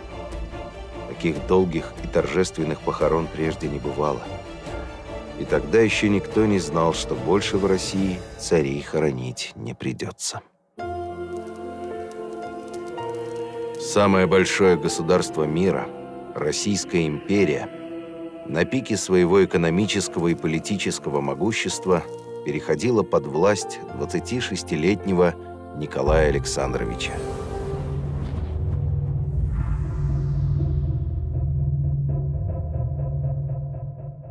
Николай, или по-домашнему Ники, получил прекрасное образование.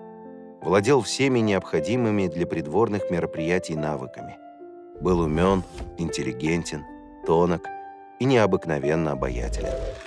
В 1886 году в гости к великой княгине Елизавете Федоровне приехала ее родная сестра, принцесса Гессен-Дармштадтская Алиса Виктория Елена Луиза Беатрикс, или, как ее называли, Алекс.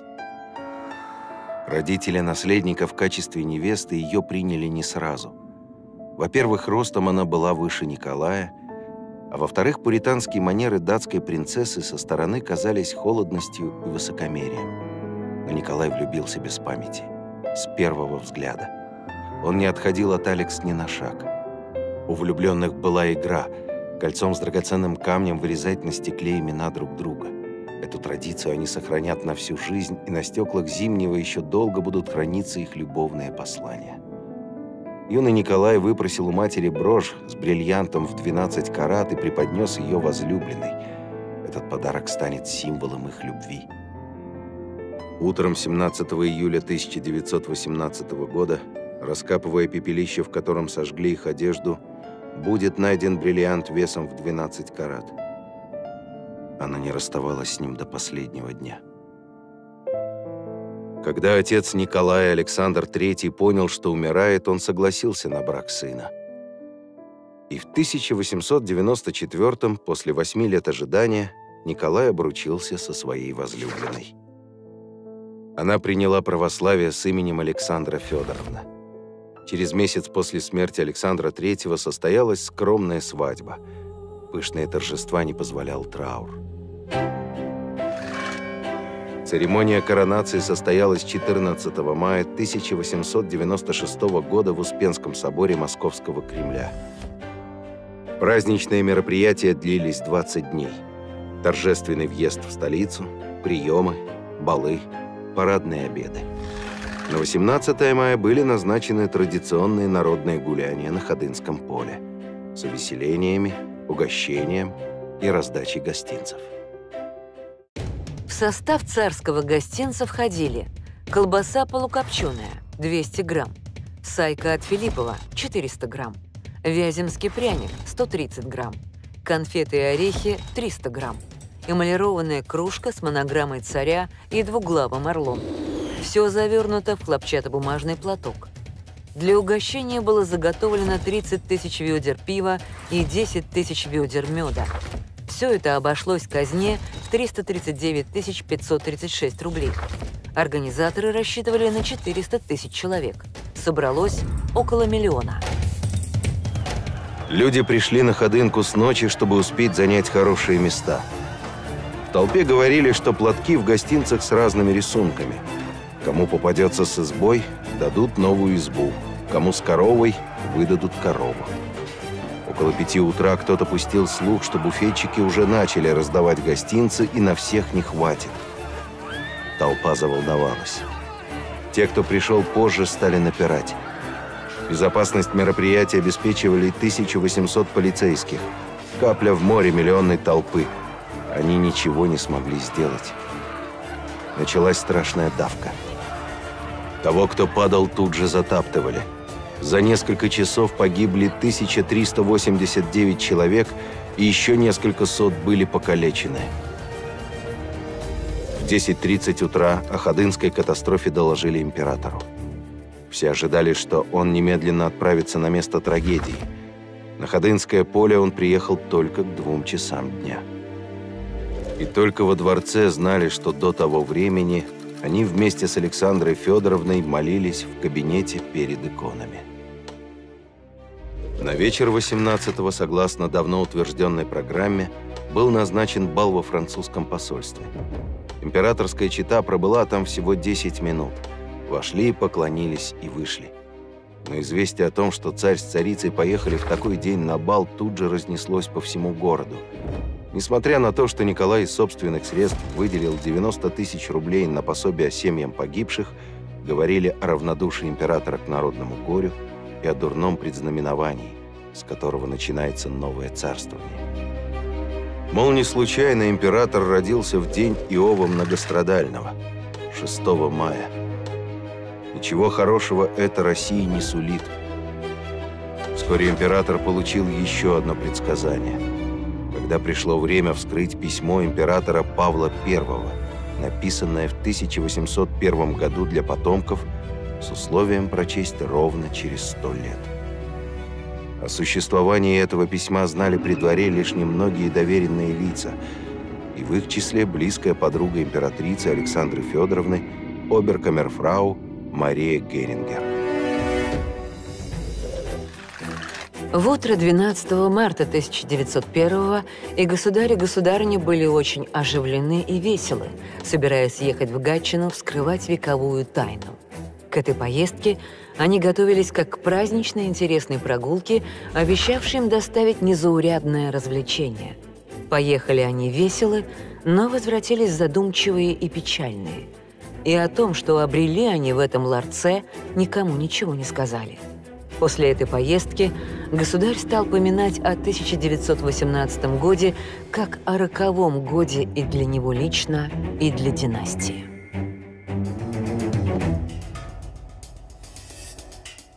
В письме Павла по легенде были изложены результаты его тайной беседы с монахом Авелем, русским Нострадамусом. Авель точно предсказал дату смерти Екатерины II – предрек самому Павлу гибель 11 марта от рук заговорщиков. Александру I – войну с французами, пожар Москвы, вступление русских войск в Париж. Николаю I – восстание декабристов. Александру II – отмену крепостного права, войну с турками за освобождение славян и убийство царя-освободителя. Александру III – мир и порядок. Про Николая II было сказано – Святой царь Иову многострадальному подобный. Будет иметь разум Христов, долготерпение и чистоту голубиную. На венец терновый сменит он корону царскую. Предан будет народом своим, как некогда Сын Божий. Война будет. Великая война, мировая. По воздуху люди, как птицы, летать будут. Под водою, как рыбы, плавать. Серую зловонной друг друга истреблять начнут. Измена же будет расти и умножаться – Накануне победы рухнет трон царский. Кровь и слезы напоят сырую землю. Мужик с топором возьмет в безумии власти, и наступит воистину казнь египетская.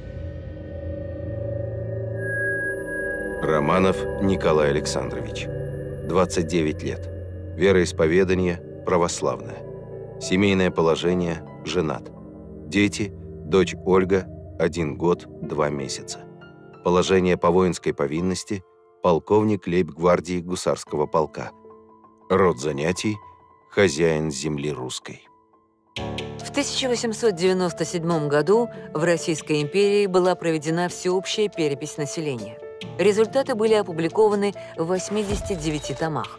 Данные на 128 миллионов 924 тысячи 289 человек – на момент проведения переписи Александра Федоровна была снова беременна.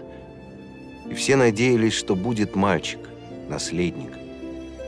Родилась дочь Татьяна. Еще через два года Мария. Потом Анастасия. Многочисленные родственники уже не пытались скрыть свое разочарование. Императора это совершенно не смущало. Но императрица была одержима мыслью о наследнике. Летом 1903 года в Саровской обители Николая и Александра молились у мощей преподобного Серафима. Просили о сыне. Через год, 12 августа 1904 родился цесаревич Алексей. Но счастливые родители от чего-то были крайне встревожены. Во дворец один за другим приходили врачи. На третьи сутки выяснилось – Долгожданный ребенок болен гемофилией и в любую минуту может умереть. Гемофилия – генетическое заболевание, нарушение свертываемости крови. Особенную опасность представляют внутренние кровоизлияния. Болезнь неизлечима. Страдают ею обычно мужчины. Женщины бывают носительницами дефектного гена. Александра Федоровна унаследовала гемофилию от своей бабушки – английской королевы Виктории. Виктория передала дефектный ген многим своим внучкам во все правящие дома Европы. Поэтому гемофилию называли также викторианской или королевской болезнью. Даже при небольшой травме Алексей оказывался между жизнью и смертью. И тогда в газетах печатали бюллетени о состоянии наследника на первых полосах. рядом с донесениями с фронтов японской войны. Конце XIX века Дальний Восток стал местом притяжения интересов всех великих держав. Слабый и отсталый Китай подвергался агрессии многих стран. Япония претендовала на ведущую роль в Тихоокеанском регионе и под лозунгом создания Великой Азии готовила вторжение в Маньчжурию, северо-восточную провинцию Китая. Утверждение Японии около границ России угрожало безопасности восточных районов империи. Россия, как и другие страны, намеревалась приобрести на Дальнем Востоке свои зоны влияния. Но кроме этого, война должна была отвлечь народные массы от антиправительственных выступлений. 9 февраля 1904 года Япония начала войну с Россией. На рейде Порт-Артура разбита первая Тихоокеанская эскадра. Через год блокады Порт-Артур пришлось сдать. В феврале 1905-го японцы ценой чудовищных потерь заставили отступить русскую армию под Мугденом. В мае в проливе Цусима японский флот разгромил вторую Тихоокеанскую эскадру. Николай распорядился начинать переговоры о мире. Ему возражали. Силы Японии на пределе, а Россия только начала разворачивать свои военные мощности. Нужен еще один год, миллион рублей и 20 тысяч жизней. Император решительно сказал, «Нет, заключайте мир». Условия Портсмутского мирного договора оказались вполне приемлемыми. Удалось и контрибуции избежать, и сохранить половину Сахалина. Следствием военных тягот стали массовые волнения по всей стране, которые назовут Первой русской революцией. Январь 1905-го. Забастовки рабочих в Петрограде, Риге и Варшаве. Май. Стачка текстильщиков в Иваново. Июнь.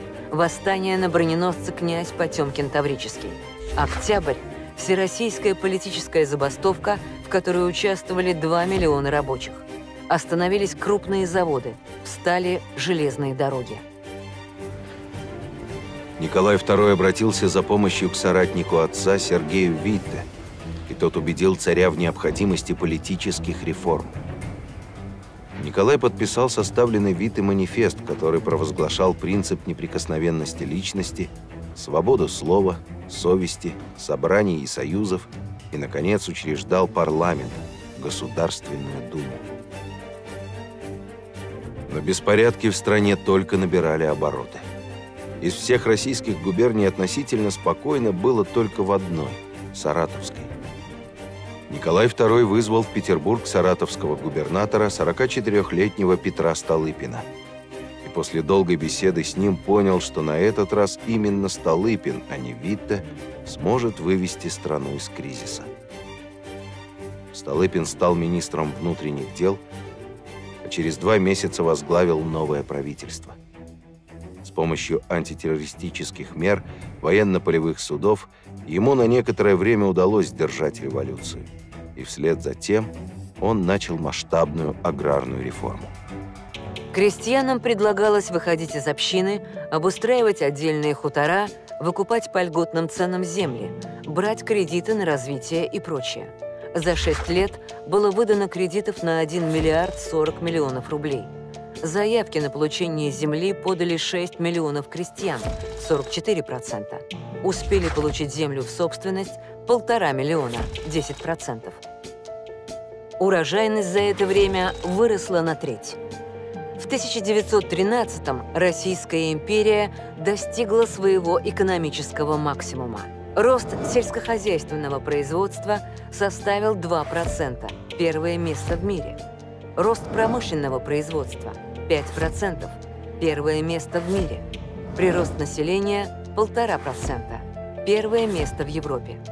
Национальный доход страны – 16 миллиардов 400 миллионов рублей, четвертое место в мире. Валовое промышленное производство – 6 миллиардов 521 миллион рублей, пятое место в мире. Столыпинская реформа была рассчитана на 20 лет.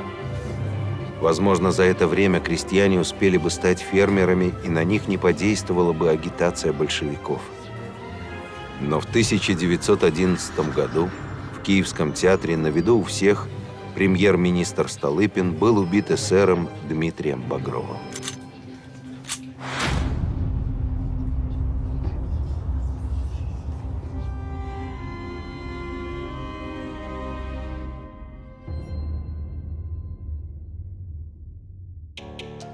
Вскоре началась Первая мировая война.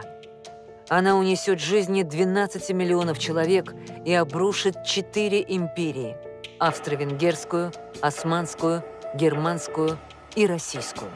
Война велась между Тройственным Союзом – Германия, Австро-Венгрия, Италия и блоком Антанта – Россия, Англия, Франция. В ходе войны к Тройственному Союзу присоединилась Турция и Болгария, к Антанте – Италия, Румыния и США. Каждая страна преследовала свою цель. Германия стремилась расширить свои владения и установить доминирование в мировой политике.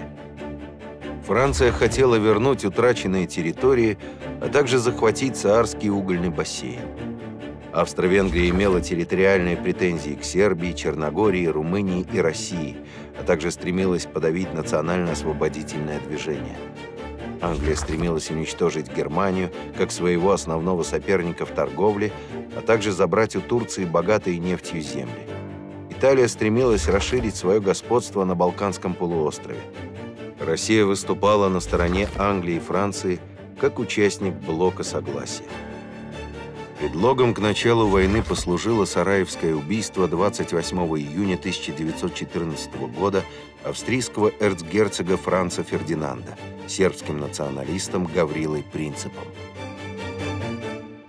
Манифест о начале войны с Германией русское общество встретило с большим воодушевлением. Русская армия поначалу значительно продвинулась на территорию противника. Но на следующий год ситуация на фронтах изменилась. Главнокомандующий дядя императора великий князь Николай Николаевич оказался посредственным полководцем. Немцы вступили на территорию Российской империи.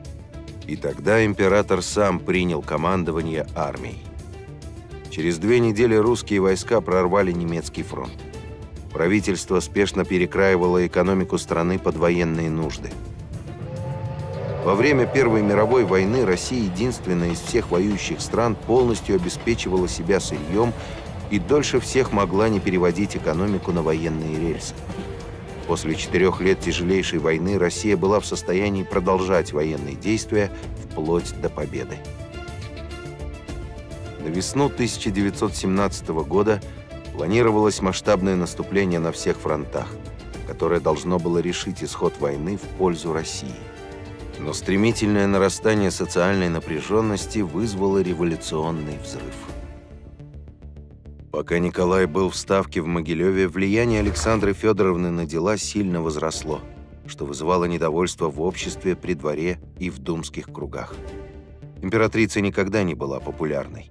Самое большое возмущение вызывало ее постоянное общение с известным всему Петербургу сибирским старцем Григорием Распутиным. Одни считали его духовицем и целителем, другие – шарлатаном. Ходило множество слухов вокруг отношений Ее Величества и Распутина. Сама императрица безгранично ему доверяла, потому что она не раз видела, как старец читал молитвы над ее умирающим сыном, и мальчик приходил в чувство. Александра Федоровна была уверена, пока Распутин рядом, Алексей будет жить. «Я верю в мудрость нашего друга. Бог послал его тебе в помощники и руководители» писала Александра Федоровна императору.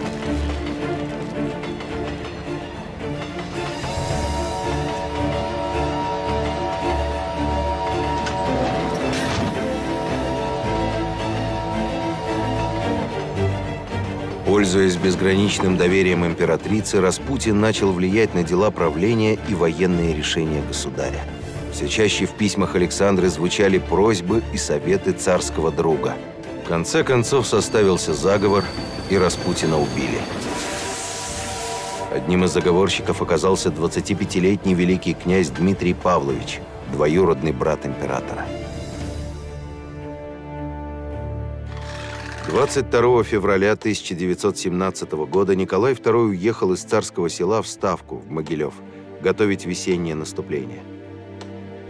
В тот же день цесаревич Алексей заболел корью, от него заразились сестры. Всех детей остригли наголо. Когда Александра Федоровна металась между больными детьми, ей доложили, что в Петрограде всеобщая забастовка. Это уже шла полным ходом февральская революция. Ранним утром 28 февраля император спешно отправляется из Ставки в царское село к семье. Ночь на 1 марта царский поезд остановлен на станции Малая Вишера Новгородской губернии. Дальше путь перекрыт революционными частями.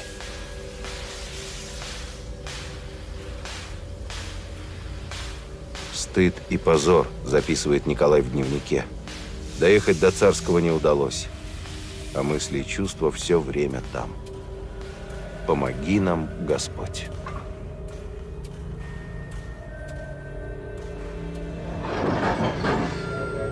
Император приказывает доставить его в Псков, в штаб Северного фронта.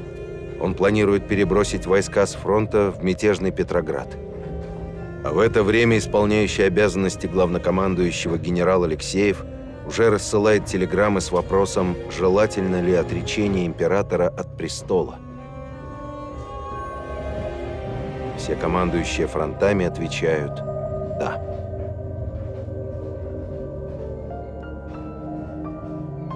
2 марта в 23.40 в салон-вагоне стоящего у Псковского перрона царского поезда Николай II подписал манифест об отречении от престола. С этого момента он полковник Николай Романов. Окружающих поразило каменное спокойствие императора. Один из свитских генералов записал «Отрекся от престола, будто дивизию сдал». Николай записал в дневнике – во имя спасения России и удержания армии на фронте нужно решиться на этот шаг. Я согласился. Решение Николая II было продиктовано жестким со стороны политиков и военных требованием отречения государя от власти. Это требование было вызвано объективно сложной ситуацией, сложившейся в стране. Народ был морально истощен затянувшейся войной и множеством проблем внутри государства. В обществе распространилось убеждение в необходимости жестких ограничений монархической власти. Государственная дума считала отречение необходимым для предотвращения внутриполитического хаоса в стране. Единодушная поддержка идеи отречения со стороны высших российских военачальников – Внутри дома Романовых также не было согласия по поводу будущего монархии. Одних не устраивала фигура императора и его супруги, другие считали, что самодержавие в прежней форме себя изжило. Но брать на себя ответственность за его реформирование никто из великих князей не решался. Будучи уверенным, что камнем преткновений является он персонально – Николай отрекся в пользу младшего брата Михаила. Младший и любимый сын Александра III, тот самый, который когда-то облил водой отца вместе с его сигарой, Михаил подписал отречение от престола 3 марта, через сутки после Николая. Спустя полтора года он будет расстрелян в местечке Малая Язовая близ Перми. 3 марта 1917 года Михаил Александрович Романов подписал изданный им манифест об отказе от приятия верховной власти до созыва учредительного собрания. Новый царь желал подтверждения своей власти законно избранными представителями народа, то есть только в том случае, если народ выразит на ту свою волю посредством всенародного голосования – Неприятие престола Михаилом способствовало углублению революционных процессов и фактически положило конец монархическому правлению в России, прервав цепочку престола наследия династии Романовых. Власть в России перешла к Временному правительству.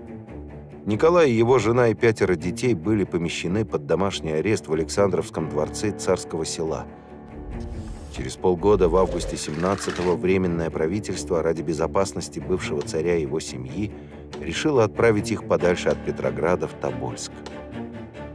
С ними разрешено следовать тем из дворцовых служителей, кто сам пожелает.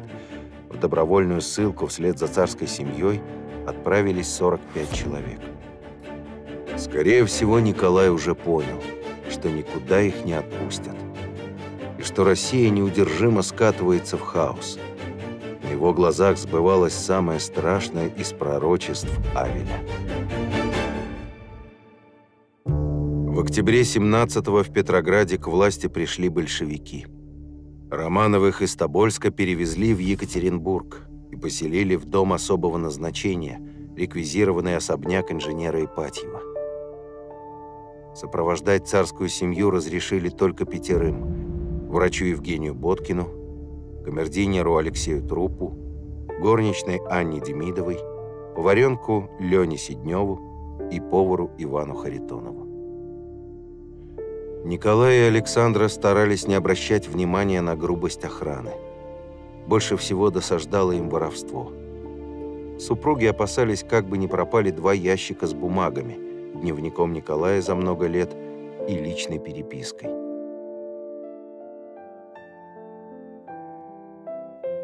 Никогда бы не могла представить, что в мире есть столь совершенное счастье. Такое чувство соединения между двумя смертными людьми – «Я люблю тебя» в этих трех словах заключается вся жизнь. Алекс.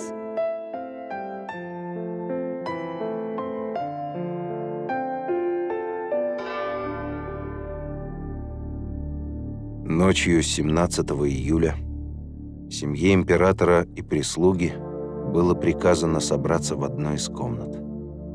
Арестованным сообщили. Ходят слухи об их гибели – и чтобы опровергнуть это, необходимо сделать общую фотографию именно этой ночью. Чтобы на утро из газет объявить миру о том, что царская семья жива и невредима.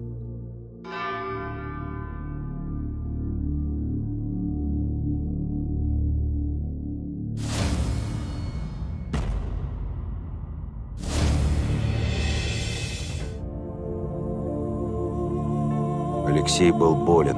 Отец нес его на руках.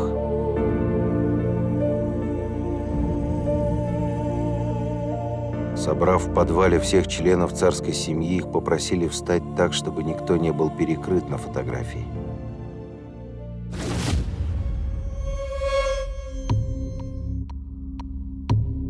И тогда комендант дома, Яков Юровский, зачитал приговор.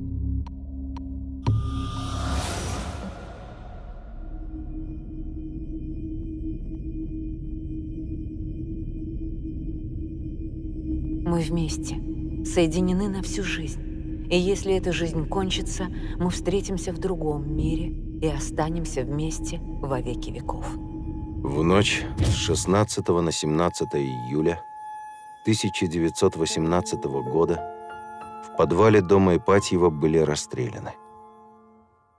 Романов Николай Александрович, 50 лет. Романова Александра Федоровна, 46 лет. Романова Ольга, 23 лет. Романова Татьяна, 21 года. Романова Мария, 19 лет. Романова Анастасия, 17 лет. Романов Алексей, 14 лет. И еще четверо приближенных.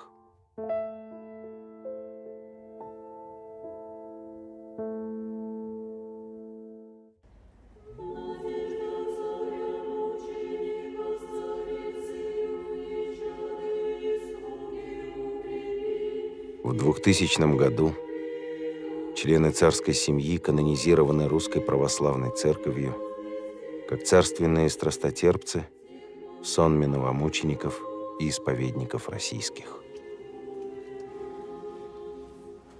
Весной 1918 года великая княжна Ольга незадолго до смерти написала письмо – Отец просит передать всем тем, кто ему остался предан, чтобы они не мстили за него. так как Он всех простил и за всех молится. И чтобы помнили, что то зло, которое сейчас в мире, будет еще сильнее. Но что не зло победит зло, а только любовь.